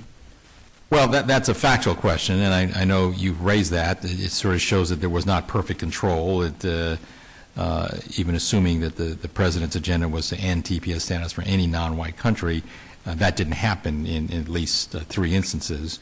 But the fact that it happened in, in four other instances may be evidence to the contrary. But that's an evidentiary question. Um, I think their theory is that even though the charged decision maker by statute was the secretary, if the secretary was in fact uh, acting under the pressure or influence uh, of the, the of the president, then as any, under typical discrimination theory, those who exerted some influence or pressure, their state of mind can be imputed for uh, liability, liability purposes to the ultimate decision maker. Well, you know, as, as you're aware, there's other pending litigation on this. Uh, you know, the Casa de Maryland case um, uh, rejected this argument. Uh, Batalla has been certified for interlocutory appeal, um, and you know, there, th- you- there are other courts considering this issue. But in, in all of these cases, it is our position that when you're dealing with a cabinet secretary who has the authority to make these decisions as delegated by Congress, that this sort of undue pressure cat's paw theory falls apart. Simply because that's the person that was designated to exercise the ultimate power? Uh, yes, that that distinguishes it from a case of a middle manager in the employment context or, you know, th- these other sort of contexts. I- I'm not sure, I mean, ultimately, somebody's a decision maker, in this case, it's designated by statute, in many cases, you have to figure out who the decision maker was, was it the supervisor, the manager, the CEO? But once you've determined who that, located who that decision maker is, you also look at those who influenced the decision maker in determining whether or not there was unlawful discrimination or other um, invidious type of conduct that was going on. And so I'm not sure the fact that Congress has identified who the ultimate responsible decision maker is would insulate and prevent review of who the other influencing factors were and whether or not they were tainted uh, by some unlawful motivation. I, I'm not aware of, you know, wh- why that would be. Well, fair enough, Your Honor. Um, You know, the- this is our position, and, you know, we'll also have a Ninth Circuit decision in DACA that could, that will shed, shed some light on this, perhaps. Right. Um, Let let me go to the APA theory then. Um, let- And let me ask you, I understand, you know, there's a whole question of jurisdiction, whether we even get to this on the merits, but if we were to, and I understand the government's denial that there was a change in rule, there is no, quote, "new rule," a new interpretation, um, but if there is jurisdiction, if a new rule or new interpretation is found to have been applied here that is different, discreetly different from the, the prior process, why wouldn't then that be problematic under the uh, Administrative Procedure Act, uh, particularly under the FCC versus Fox television case that said that uh, agency has, you can't depart from prior policy or practice sub silentio, you have to at least give good reasons for it, some explanation, and go through a, a process. Well, the explanations are given as required by statute in the Federal Register notices. They're set out there. There is no other source of publication for guidelines for interpretation. Well, that's an explanation of the substantive decision, why status is being terminated for, for Haiti and for El Salvador. What is not explained, and I know it is hard for you to do because your, your client uh, denies that there was a change, but if there was a change, there's no explanation why that change was made, why the uh, secretary is no longer considering, for instance, current conditions. Not to uh, avoid the question, but on that point, Your Honor, we are not conceding that the secretaries did not in- consider intervening conditions. No, I know that. I know that's a dispute because you, in, in some of the termination notices, it talks about some current, like in Sudan, for instance. Right. Um, So just to be clear, we're not conceding that we Right. did not do that. Um, That, On on the other hand, if you look just on the face of the notices compared to the extension notices, the previous extension notice and the current termination notice, there are a number of uh, uh, factors that were just not addressed.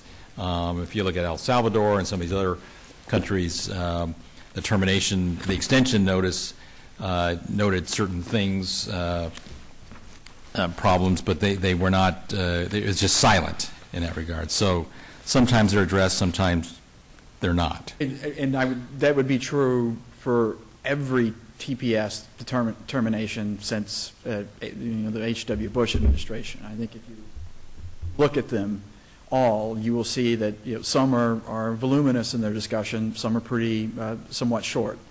Um, it- The prior terminations also uh, uh, omitted discussion of the previous condition that had been cited in the Right. Meeting notice. If, if you reading the prior Federal Register notices, you can't discern any pattern where, of consistency, where every single factor that was ever mentioned in the prior extension is rebutted in the termination. It's just not the way that these have been handled. Well, that, that does raise a a disputed issue, but uh, assuming for the moment that uh, if the plaintiff were able to, they were able to prevail and show that there was a significant substantive, or they put it, sudden change, um, would that not, wouldn't that be problematic under the APA, since there's no explanation for that, no, no, no uh, reasons set forth? Uh, No, Your Honor. The, the, uh, again, not getting to like the merits of whether this, this actually happened, the, you know, none of the cases that plaintiffs cite for the APA claim are like the situation here. They all involve some sort of prior public notice given to the public about how the agency was going to administer or prosecute a particular statute. There are, you know, none of the reliance interests that those types of uh, public statements would have engendered are at issue here. And this is a temporary humanitarian program applied by different administrations over, you know, since, I guess, 1991.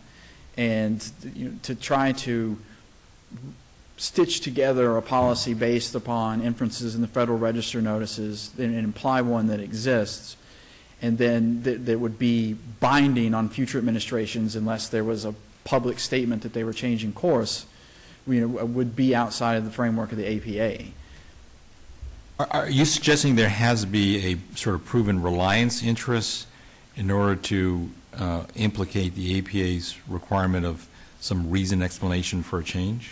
Not that, that, that there's a, a reliance requirement, but that in, in all of the cases that plaintiffs cite, you're dealing with formalized public communications, like either a proposed rulemaking or as in FCC v. Fox, you, know, you had interpretive guidelines that the FCC was publishing about its fleeting expletive, pol- expletive policy. And the, in, I mentioned reliance in that context because it, it is there where, in that context, where the Supreme Court in Fox, F, the FCC says, you know, the, the agency has to give some reason to explain what it's doing after, when, and notify that it's doing so. Wi- Without any prior express policy, there is, there would be no requirement to publish on the website or anywhere else how they were administering TPS.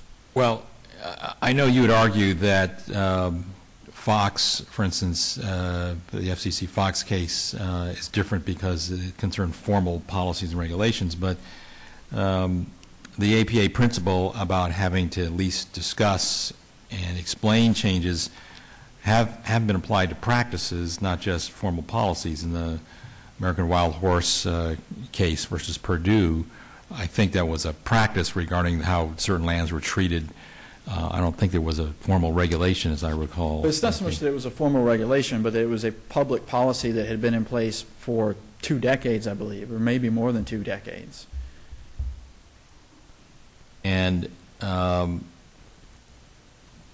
well, I I take it, uh, what we're going to hear from the plaintiffs is that there's been a public policy or practice of uh, accounting for intervening current circumstances uh, before terminating, and, and that is the change. I mean, it it was public in a sense that if you look at all the explanations and the extensions, um, what the practice was is, is made evident and was public. So why is that any different? Uh, Well, it- maybe this just collapses to the merits, that that's just not the case. Right. And- And, uh, Your Honor, also, I I know that we started this, this uh, hypothetical with the proviso that there was jurisdiction, but I just want to reiterate that the APA itself would, uh, you know, deprive the plaintiffs of, this court of jurisdiction over that claim because of of Section 20 1254A. Right, the jurisdiction stripping Yeah. provision.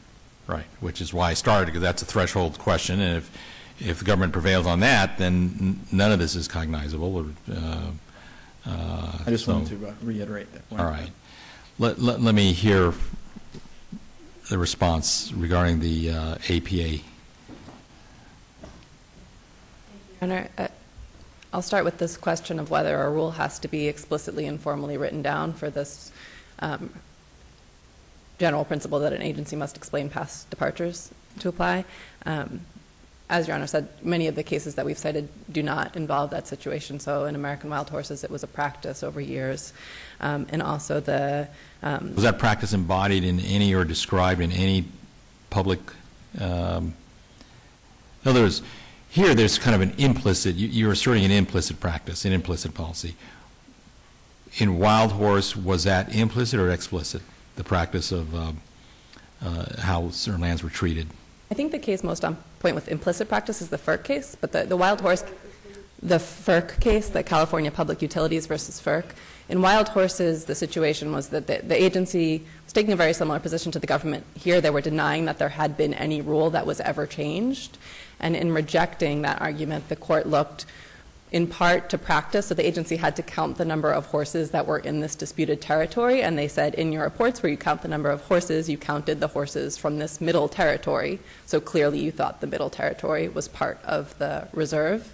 Um, there was also an original forest plan that was incorporated by reference into another document that said that the reserve was part of the, um, or sorry, that this disputed territory was part of the reserve. So the court looked at both things. Um, the FERC case is a case where the rule really was embodied in individual decisions, just as in our case. So the um, over the course of deciding several cases, the, the issue had to do with whether you could give an incentive to a utility company for being part of a group that it had no discretion to leave.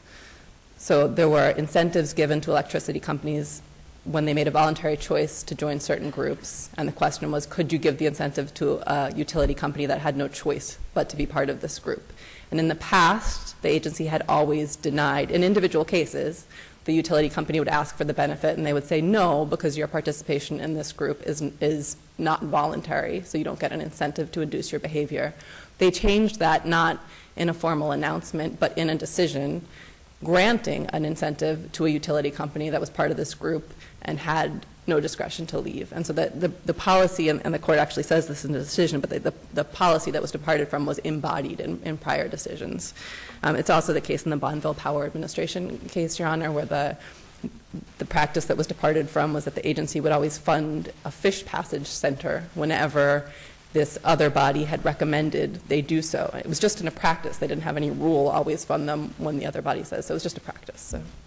All right, well, that brings up the question, how clear, and maybe this is the factual dispute here, um,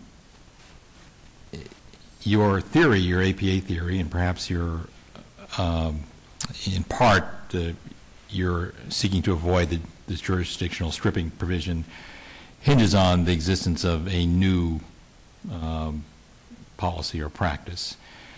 What's your response factually to the fact that if you look at earlier terminations, they, many of them also did not refer to prior extension conditions, and, and one could argue, it looks like they, you know, there's no clear pattern here, that uh, you don't always consider all uh, conditions.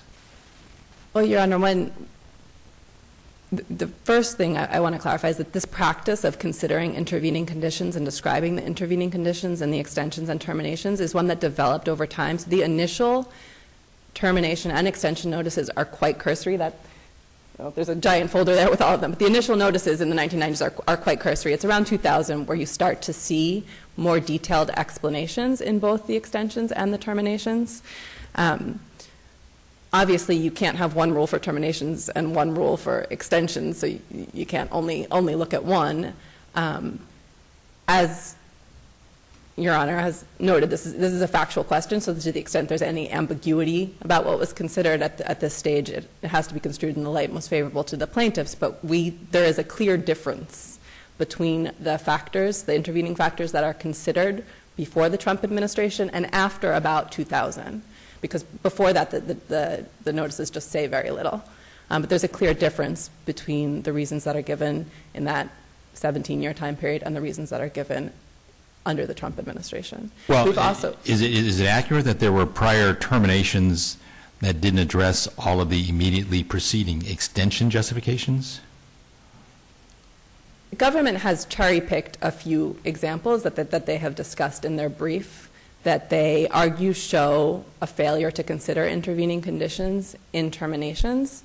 Um, at best, we think we, we think those are cherry-picked examples and that the overwhelming pattern is to consider intervening conditions in both extension and termination notices. To the extent there is no pattern and the government sometimes considers them and sometimes doesn't, that would also be a violation of the APA to apply one rule in one case and another rule in another case arbitrarily. I don't recall that being a theory you advanced. I thought your theory is that there's a change, not that there's been inconsistencies from time to time, and therefore prior administrations may have violated the APA as well. I thought your position is that this administration has violated the APA because of a sudden and new change. So that's, that's a different theory. You're correct, Your Honor, and I apologize if I was confusing. That is our position. In response to the, the government's argument in our opposition brief, we point out that if the court accepted their version of the facts as true, and sometimes factors are considered and sometimes they aren't, that, that is a different APA violation. That's not the one that we have alleged here, but that also would violate the APA. Are, are are there any cases that say how, how much of a change, how clean, how categorical a change must be in order to invoke uh, the requirement of uh, providing good reasons, et cetera, et cetera, for that?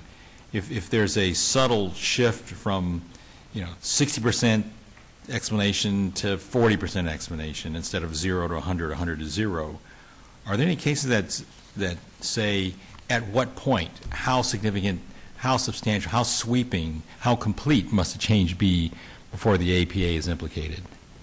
There aren't any cases I'm aware of, Your Honor, that directly address the question, but you can look at the changes that have, where the court has applied this test. So in, um, in the Fox case, for example, the change was, is one expletive enough to count as indecency, or could two count as indecency? And the court explicitly notices that, uh, noted that the agency didn't change the definition of indecency, it just changed how it was applied. There's also in the Bonneville Power Administration case, Your Honor, that But I'm- there you could see what the change was in a fairly graphic way, right? I mean, here, you're looking at a pattern. I mean, you're, as you say, I mean, they cherry pick, but if they, if they can cherry pick enough, it doesn't, then it begins to look like not so discrete a pattern. If there's enough examples of that. So the question is not how, I apologize, Sharon, I think I was misunderstanding the question, not how subtle the change has to be, but how clearly the change has to be I expressed. guess that's a better way of putting it, yes.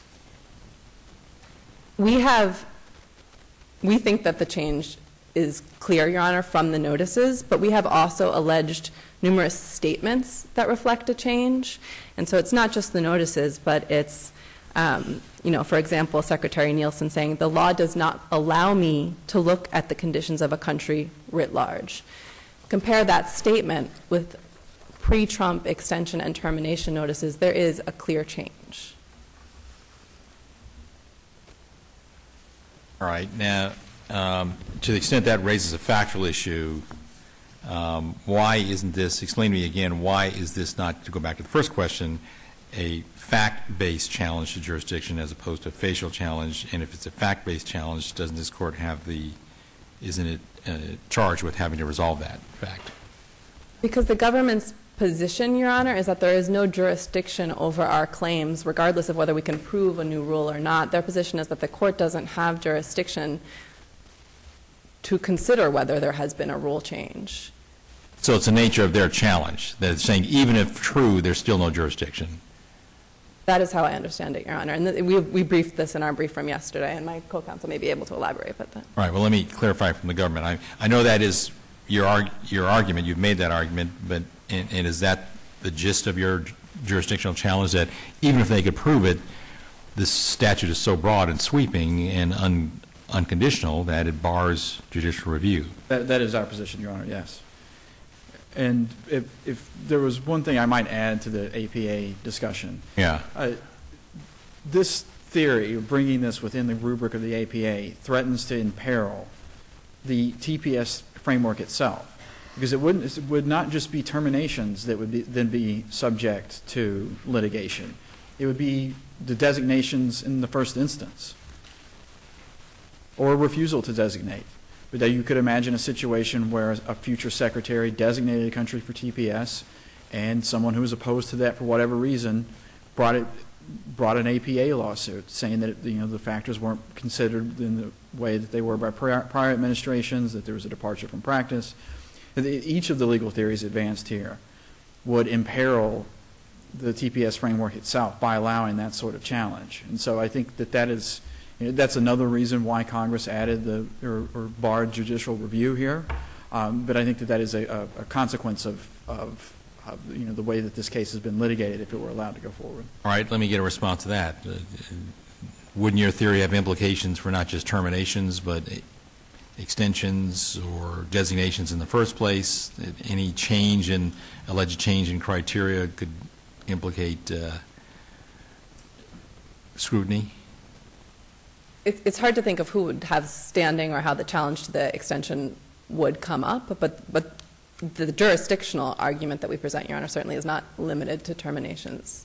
It applies to No, I'm talking about the APA argument, the substantive Par- APA pardon me, argument. Pardon me, yes, the rule the rule change, the argument that you can't change rules without giving an explanation is not limited to a termination, although in the termination, there are unique reliance interests, which are relevant as far as how detailed the explanation needs to be, and I think the government argued that there were no reliance interests because this policy is not written down, but certainly the TPS holders have come over the years to rely on the fact that their country's TPS designations are extended. They are aware of the conditions in their country, and they've come to rely on the fact that they are not going to be made to return to their countries until those conditions um, have improved, and they have come to rely on the fact that that assessment is made looking at the conditions writ Well, large, not in this narrow way. Let let me ask you, now that you raised that point, aren't those expectation interests as opposed to reliance interests? Usually reliance interests is a change in position and reliance on something, something you've done that you would not have done otherwise, and I'm not sure what that would be here. I mean, people may expect that they were going to be able to stay here longer, but it is a temporary, there- nobody was promised a permanent status here. Um, So I'm not sure what there's no example in the complaint of what people have done in reliance that they would not have done had they known. It's really an expectation interest that is based on an expectation there'd be, certain rules would apply before the TPS status would be terminated. It's a, it's a reliance interest, Your Honor, in that, and the, the example that we give in the complaint that I think is, most goes to this question is that uh, plaintiff Hiwaida Elarabi, for example, she's held TPS for 20 years. In 2015, she made a decision to invest in a restaurant. She made a decision to start her own business. When the TPS termination was announced, she sold that business because of the uncertainty, and she sold it at a loss. So people are making decisions about their lives that are different from the decisions they might make if they thought they would have to return to their countries before conditions in their country had actually significantly improved. Another example, Your Honors, we have several plaintiffs who are, you know, college students. We have plaintiff uh, Maria Jose Ayala Flores has decided to study math in college because she wants to be a math teacher. If she thought that she was going to have to return to her country, she might make a different decision about what to study. So we do think they are reliance interests and not just expectation interests, Your Honor. What would be the reliance interest there? You mean studying a different subject or not going to college or what? I'm not sure I understand. I think the choices that are made, yeah, it could be to not go to college and to instead get a degree in whatever job is most in need in the other country. Um, decisions are being made with the assumption that people are able to stay and won't have to return to their countries until conditions have improved. And I do think people would make different decisions about what to study, about whether to go to college, about what job to take, about what business to invest in. Um, I guess the hard thing about that, I mean, I understand what you're saying. I think the hard part about that is that it's not like, you know, you're guaranteed to stay here 10 years, now we're shortening it to five years. It's always, it's six months, six months, 12 months, 12 months, maybe 18 months, and, and it's subject to periodic review, and it is, uh, and especially given the lack of judicial review on the merits, it's not so much based on, you know, objective conditions on the ground by itself, but the Secretary's assessment of that, which is largely unreviewable under the statute. So the reliance interests seem to be tempered to- to some extent. In a practical way, the reliance interest is the assumption that the Secretary, maybe the decision is non-reviewable, but that it will be made in a non-arbitrary way, and that there won't be this sudden change when from the plaintiff's awareness of what's going on in their country, nothing has really changed, but the decision that comes out is completely different and is not in line with the decisions that have been made for the previous 20 years. All right. Um, let, let's talk about the, the discovery issues. I know some of this is sort of conditional on what this court decides on the merits. Um, but if we assume for the moment that uh, I find that the jurisdictional stripping provision of 1254A uh, does not preclude either the constitutional claims or the challenge to the procedural, broader systemic uh, change in criteria that the plaintiff allows, uh, that determination is, is uh, uh, to be narrowly construed to mean the individual country-by-country determination, um, which is fact-based, uh, and that at least there's an APA uh, claim that's been stated once we get past the jurisdictional uh, issue, and at at least as alleged, an equal protection claim. Um, I'm I'm less certain about the uh, due process claims, uh, but assuming there is a constitutional claim and an APA claim that goes forward, what do we do about discovery? And how does this fit into a larger time frame in terms of what is happening? Because uh, we have to look forward in terms of what the sequence of events are. I guess the first uh, TPS holders that will be affected are uh, those from Sudan in November, and then followed by, what's the next country? Nicaragua in January.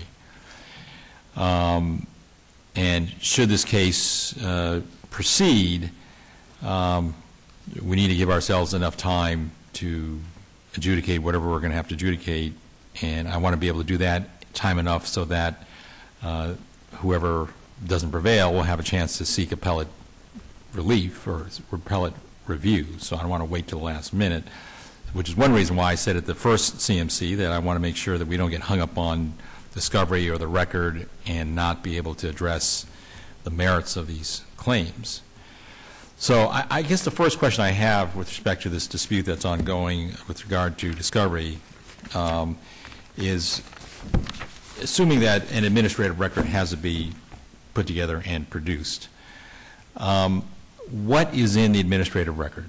And the administrative record generally um, should include things that are, that are broad, um, anything that was directly or indirectly uh, considered uh, by the agency decision makers.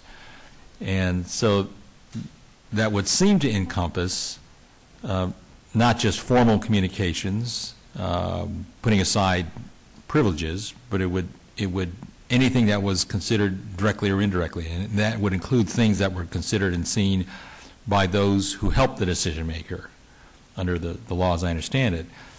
Um, so I want to get, I want to get the party sense of, and, and if that's the case, I'm not sure what else outside the record would be needed here. But uh, let me hear from the government first, because you've begun to look at the potential administrative records, I understand. In compiling them, uh, yes, Your Yes.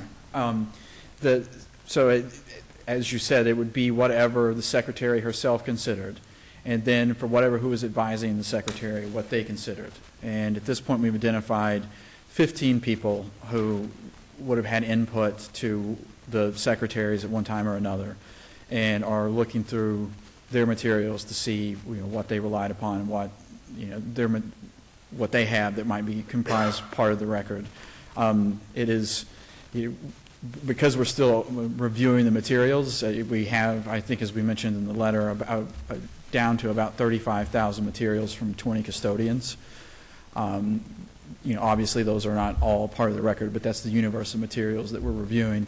Um, And we're also interviewing other people who might have potentially had some input that would have met the criteria of someone who was advising the secretary. Now, uh, your letter refers to uh, including formal recommendations and assessments by other government agencies, uh, but it will exclude informal deliberations. Yes, Now. Yeah. I'm not sure what that means. Informal, if they are considered directly or indirectly, at least they fall within a prima facie definition of what should be in administrative records. Maybe there's some privileges there, but I, it seems to me that, I'm not sure what that means, informal. So I, I, i- in the context of that paragraph, Your Honor, what I, what we were trying to say was that, you know, we are including materials that would normally be deliberative because of the statutory framework. The statute, statute requires DHS to consult with other relevant government agencies, so like the State Department, for instance. And so materials that in the, you know, in, other types of APA cases would have been deliberative, we are going to be waiving uh, deliberative process privilege for those because of the statutory, statutory framework. Right. Um, And so in saying informal uh, deliberations, we were saying that we were, you know, that because although we were, you know, waiving privilege with respect to these things under the statute, you know, informal communications and emails between various people uh, uh, uh, would be excluded from the record. Why would those be excluded, uh, at least uh, under the normal definition definition of an administrative record, as long as it was uh, uh, up for consideration? uh, uh, It was, again, even indirectly considered, it- it it should be part of the administrative record. I think the point was that they're informal deliberations, so that, you know, they're deliberative in nature, not factual, in that the, that those, are- as would be normal, we were with, we will be withholding. Is that because of the deliberative process privilege, or you don't think that that even falls within the definition of what's in the administrative record? Uh, Well, it depends upon the particular document. Um, And sorry, but it- it's hard, a little bit hard to answer that in the abstract. It- it- I- So I'd say both, Your Honor. I mean, because some would be deliberative process, and then others would be materials we would not consider to be part of the record. Or what's, what's, who's going to argue on the part of the,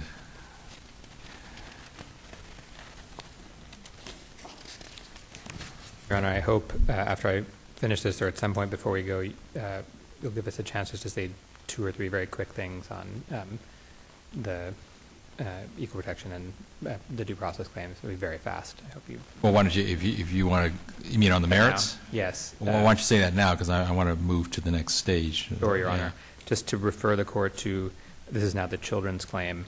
Martinez de Mendoza is a Third Circuit case that says that if you're going to an unsafe country, the analysis might be different on one of these de facto deportation claims.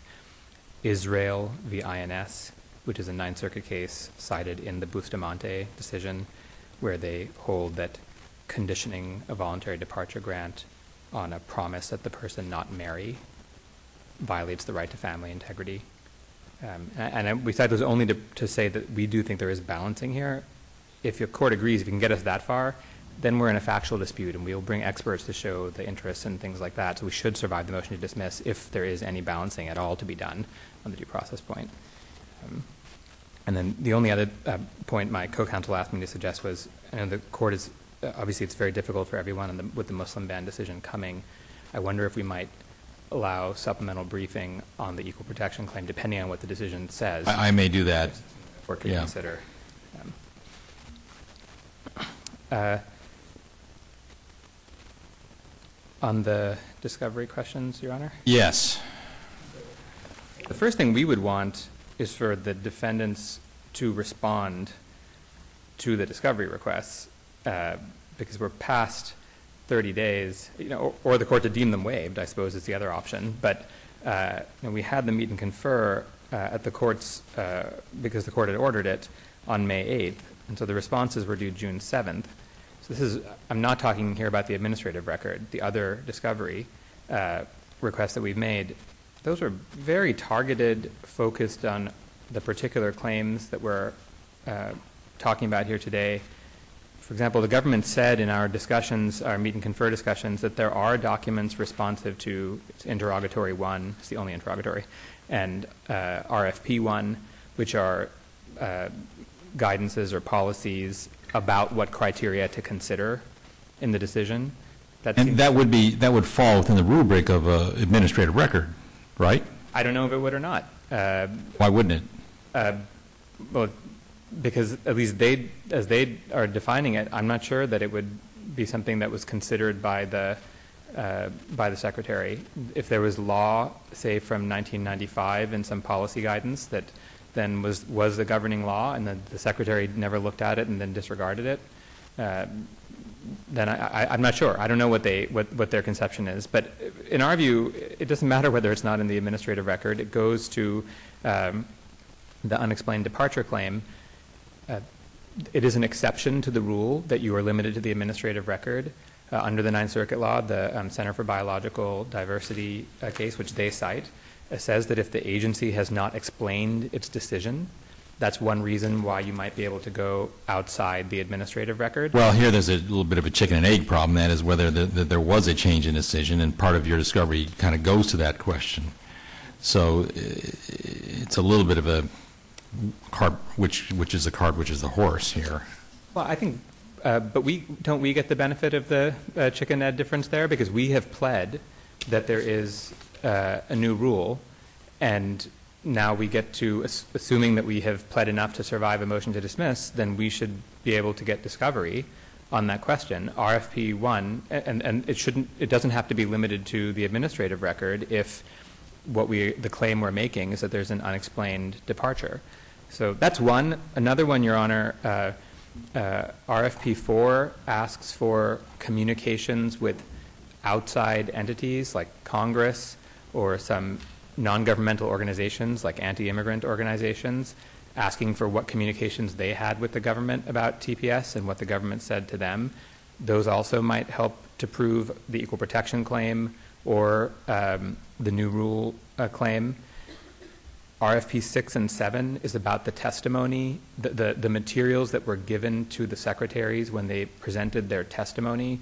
That's the testimony that I and my co-counsel were quoting to you, Your Honor, where they sure sound like they're saying that they're limited to the originating conditions.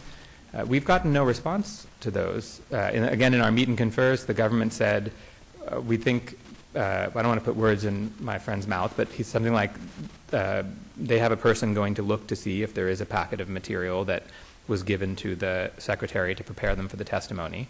Um, we would like to see the documents that that is produced. They've had it now for almost 60 days. So that's, that's our sort of first ask about uh, discovery, separate from this administrative record question. And those, uh, the, la- so the last one I should mention, Your Honor, the 30B6 deposition. So the ones that you are prioritizing are um, uh, requests RFP 1, Four, 4, six, seven, uh, the 30B6 deposition. I may be, these are in the brief we filed yesterday, Your Honor. So um, in the, in the section of it about the old requests, I may be missing one, but that's, uh, that's one ask that we have. there are supplemental requests.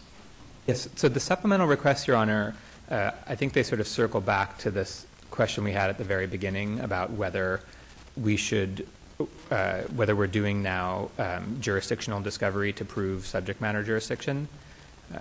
Well, and, and, and, and, well, your position is that we don't need to because uh, the, the challenge that the government has brought is of a legal nature, the facial nature, and I have to resolve this.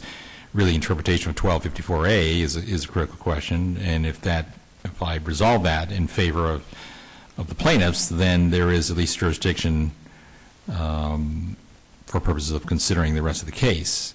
Right, Your Honor, and, and so Your Honor's order said, tell us, tell, tell the court what you would ask for specifically.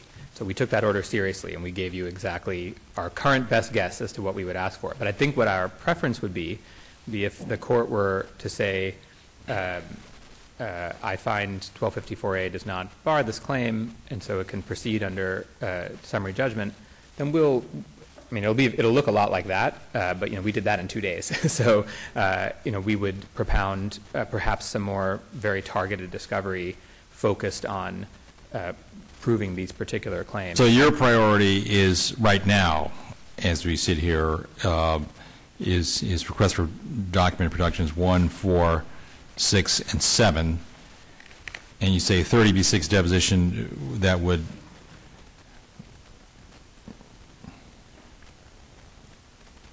is that about um, the document gathering process or the merits? It would be about the merits. I think it would be, I mean, it might cover, cover, cover some of the document gathering uh, process, depending on how we timed it. But I think our primary concern in that would be the two areas. Is there an unexplained departure from prior practice? Was there a conscious, intentional uh, uh, departure from the prior practice? And then second, race discrimination, and what are the mechanisms by which the uh, president's uh, and the sort of White House's uh, racist immigration imperatives were uh, brought to bear on the TPS decision-making process. Well, that's biting off a lot for a 30B6 deposition, isn't it?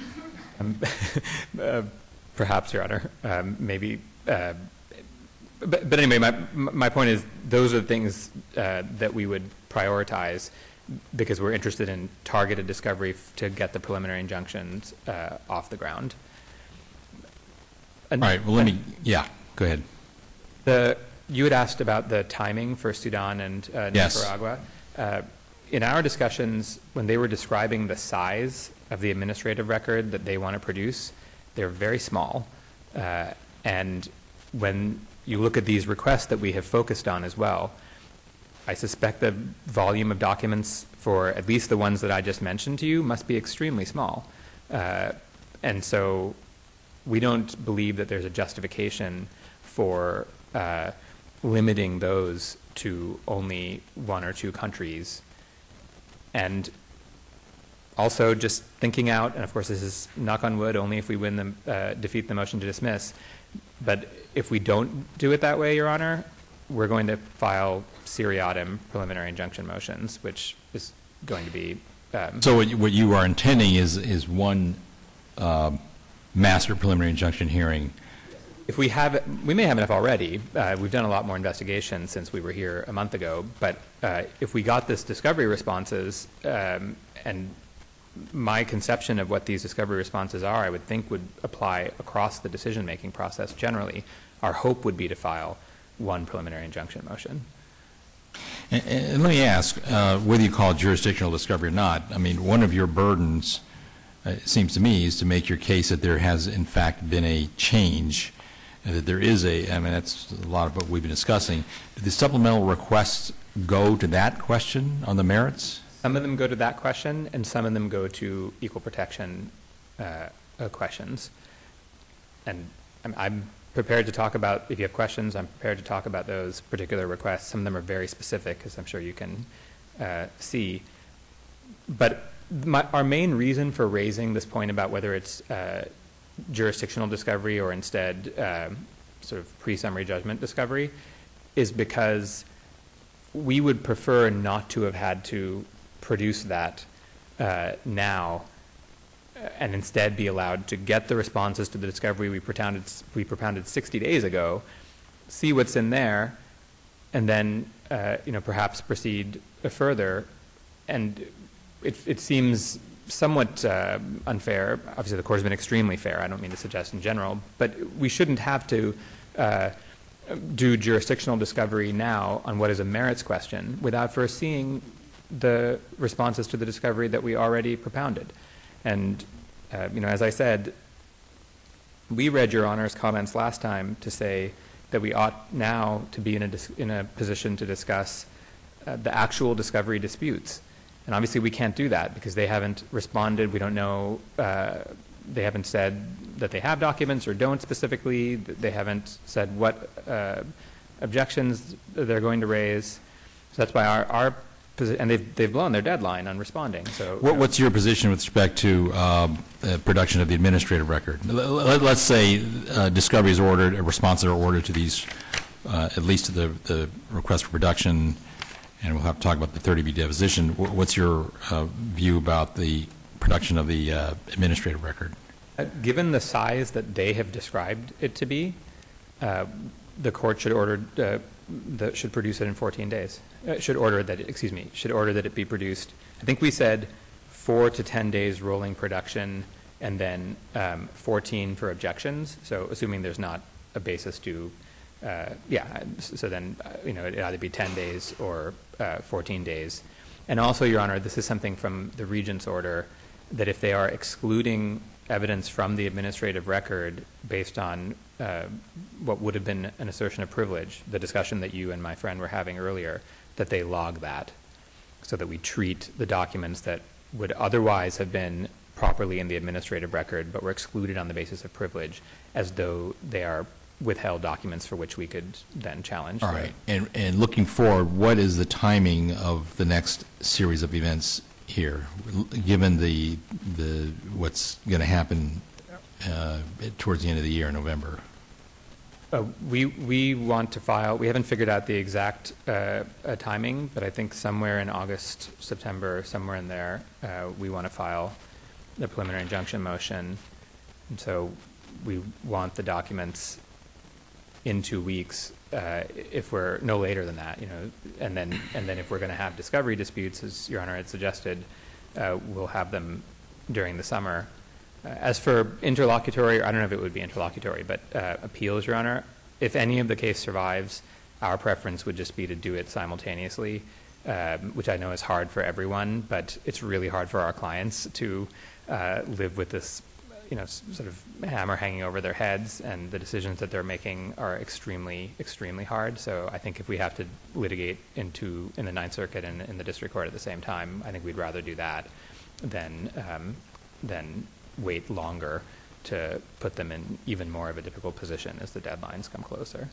You mean to have an omnibus, uh, I'm not sure what you mean. You mean to, to have one single preliminary injunction hearing? Correct, Your Honor. I was just referring to, uh, Your Honor had said, oh, well, whichever way my ruling goes, uh, we might want time for, on the motion to dismiss, I mean, we might, might want time for interlock, I mean, uh, appellate review. I was talking about appellate review if we got to the stage of preliminary injunction, because that's where the rubber hits the road. Understood, I wasn't talking about granting uh, uh, 1252 interlocutory appeal on a motion to dismiss, because that, there'll be time enough. That's why I want to advance the preliminary injunction, because then the merits of whatever we rule today here, if it goes forward, can be heard in one, rather than trying to chop it off in pieces. But it does put a premium in getting this heard well in advance of the November date. So you're looking at a August or September filing? Yes, we, to be honest with you, we haven't uh, internally talked to fix a date because we uh, wanted to, to come here and, and uh, argue the motion to dismiss, but uh, we'd be happy to provide uh, very shortly with the court, uh, to the court and to uh, the government, the date by which we'll file the preliminary injunction. All right, well, let me, Betty? Oh, we already set a date, I We- set a date for the hearing, yeah, which was September something, I can't remember. We file August Oh, 23rd? August 23rd, yeah, thank you so much. Get ahead of ourselves. We did set a date already. So that means discovery matters have to be resolved quickly.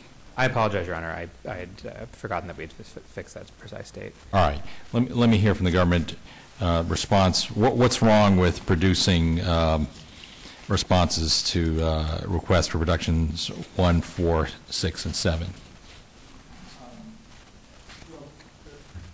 If we're moving past the uh, record for the, the moment, Your Honor. Yeah. I could just give you an update on where we are. Um, For, for number four, I- that is an exceptionally broad request that involve, would involve looking through the files of numerous agency people. I mean, this is, you know, not a targeted discrete request.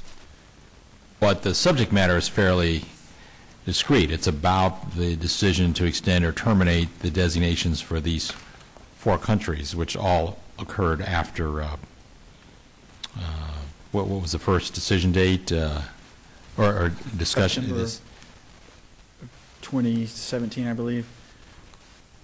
uh, it's Interrogatory number one, set the date of November 8th, 2016. I forget what the significance of that date is. Is that, was the election date, is the, Oh, okay. Yeah, that was the election day, wasn't it? So it, it means uh, for a period of about a year, um, maybe a little more than a year, about these four, and I don't know how many, I mean, So maybe, maybe it would help uh, elucidate this point if I Yeah. sort of gave you the numbers of what we have Yeah. for some of the other, so for some of the requests that were, uh, th- that we were able to formulate you know, meaningful search terms for, for example, request number two and three, we have found a total of almost 7,000 documents. For six and seven, and it's uh, 14,000 documents and families. for six and seven? Uh, no, that was for two and three. Oh. For six and seven, we're looking at about 13,000 documents based on our current search terms. Those are the number of documents used to prepare uh, uh, Secretary Kelly and then Secretary Nielsen for their Uh, we're- testimony? We're we're reviewing them to make sure that they're responsive, but based on, the- those are the numbers that that have come back for uh, the search terms we formulated for those. And similarly It's for a number... little hard to believe that uh, the Secretary reviewed 12,000 documents to prepare for, I mean, maybe I underestimate. uh, uh, I assume that would be narrower once, well, go ahead. It- it- Well, it- it probably will be narrower once they're actually reviewed. You know, these, the search terms are just the first sort of step in, in trying to isolate these documents. Yeah. I'm just trying to give you a sense of, you know, how much material is out there because of, you know, the, you know, the- the vastness of the government agencies and the number of people and custodians involved. You know, this, this isn't a situation where there's just, you know, one file box with everything. Um, And so, But it's a pretty discrete subject matter. I mean, if you look, the, the key seems to be one and four. One is uh, um, statements, documents uh, about what factors to consider and whether to extend or terminate. Um, You know, I, I, I- I don't know how much there will be. That, that's about the criteria, not the actual decision itself, as I, I read it. Um, and there may not be any. You say that there, there was no change. There may, you're responsible, maybe there no documents in that regard. I, I don't know.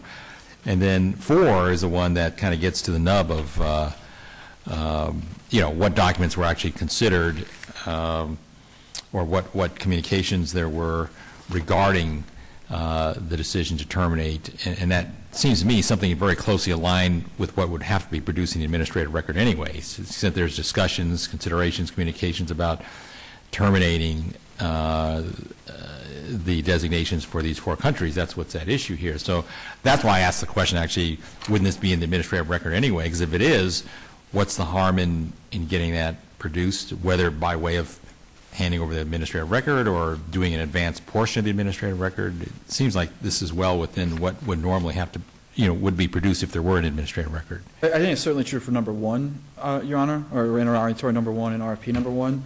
Uh, Four would be a little bit different because we're talking about, you know, communications with members of Congress, international bodies, non-governmental organizations.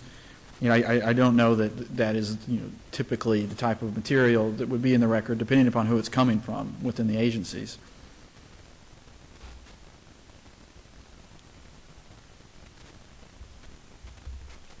Let me ask, let me ask the plaintiffs then. Um,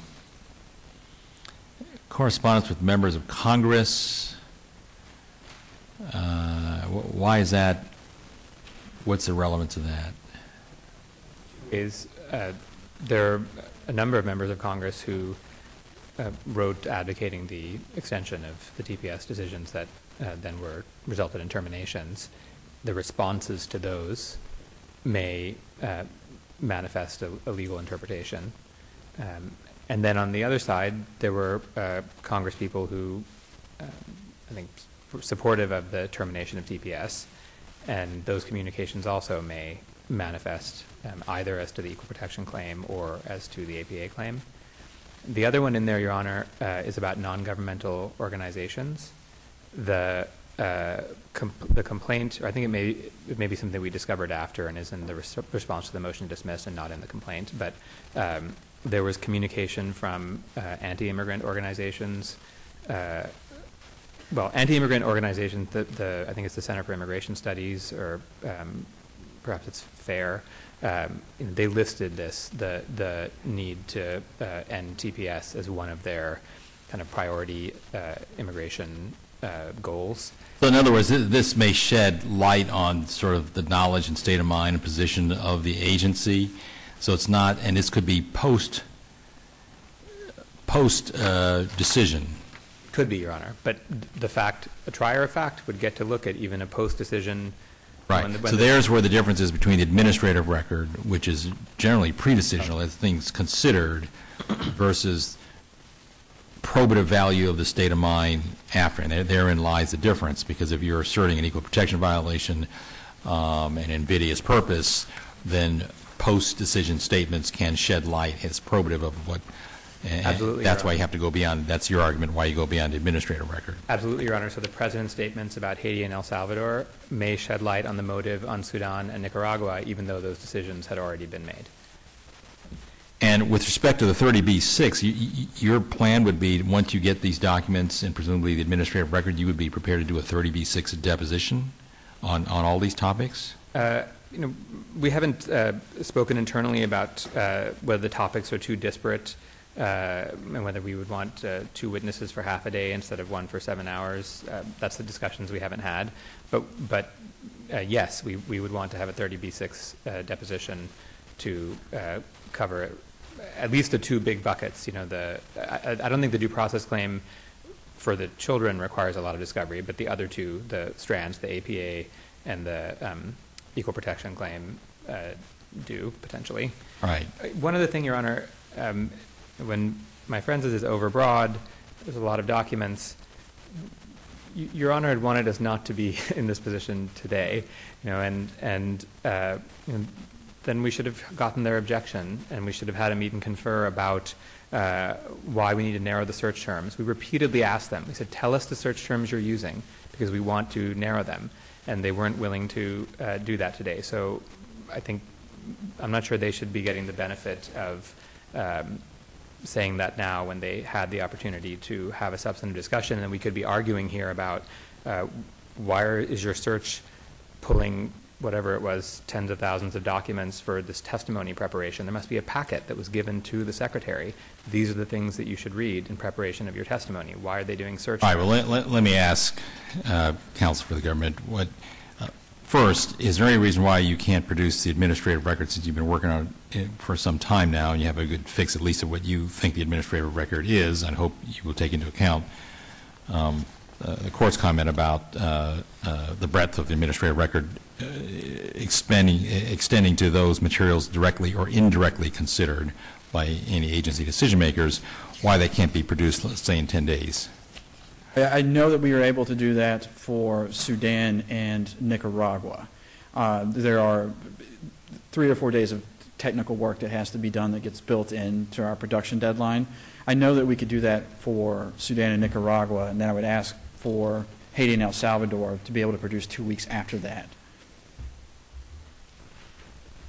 All right, well, let me, um, and with respect to, um, so you've not had a meet and confer with counsel with respect to uh, requests for productions one, four, six, and seven? We've had uh, two conversations about where we stood, um, and the fact that we were producing documents. I, I think plaintiff's counsel thought we were going to be in a position to say, you know, here are the X number of documents, and we can, we give you objections to each one or something. I'm not quite sure what they thought we would be doing, but I, I want to emphasize how much work we have been doing in compiling these documents, and that it, it is more laborious than I think plaintiffs believe, but uh, that is the, the, the, the case.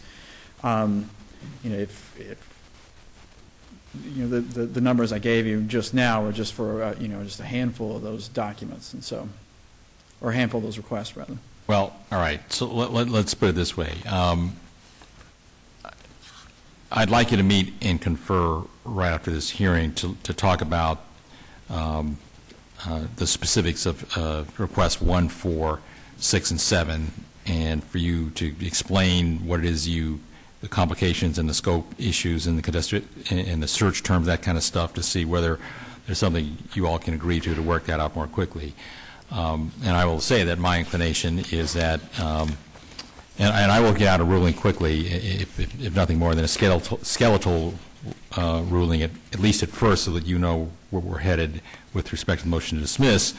Um, Should this case or parts of this case survive, um, then I am inclined to uh, order um, uh, the production in responses to uh, 1, 4, 6, and 7, and for then also the parties to meet and confer about the possibility of a 30B6 deposition, and to order that the uh, administrative records be produced uh, quickly, because we are coming up upon an August 23rd uh, deadline for filing of a brief, if we get to that point, uh, opening brief on a preliminary injunction motion, and we don't have time to really delay that, because then we're, um, you know, the hearing is not until uh, September, and we need to hear this matter uh, before then, by- then. Uh, With that, I'm going to take the matter under submission and then um, uh, uh, get out a ruling fairly quickly once I've reviewed some more of the cases that you all have cited, and then um, I would like you to meet and confer uh, on a provisional production, or at least provisionally, conditionally, uh, on, uh, if this case were to proceed, on the discovery matters that I just mentioned. And just to follow up on the deadlines for the administrative record, we're, we're going with 10 days from today for, I would- I'll save this for now, I would say 10 days for Sudan and Nicaragua, and within a week after that uh, uh, for uh, El Salvador and and Haiti. All right? All right, thank you.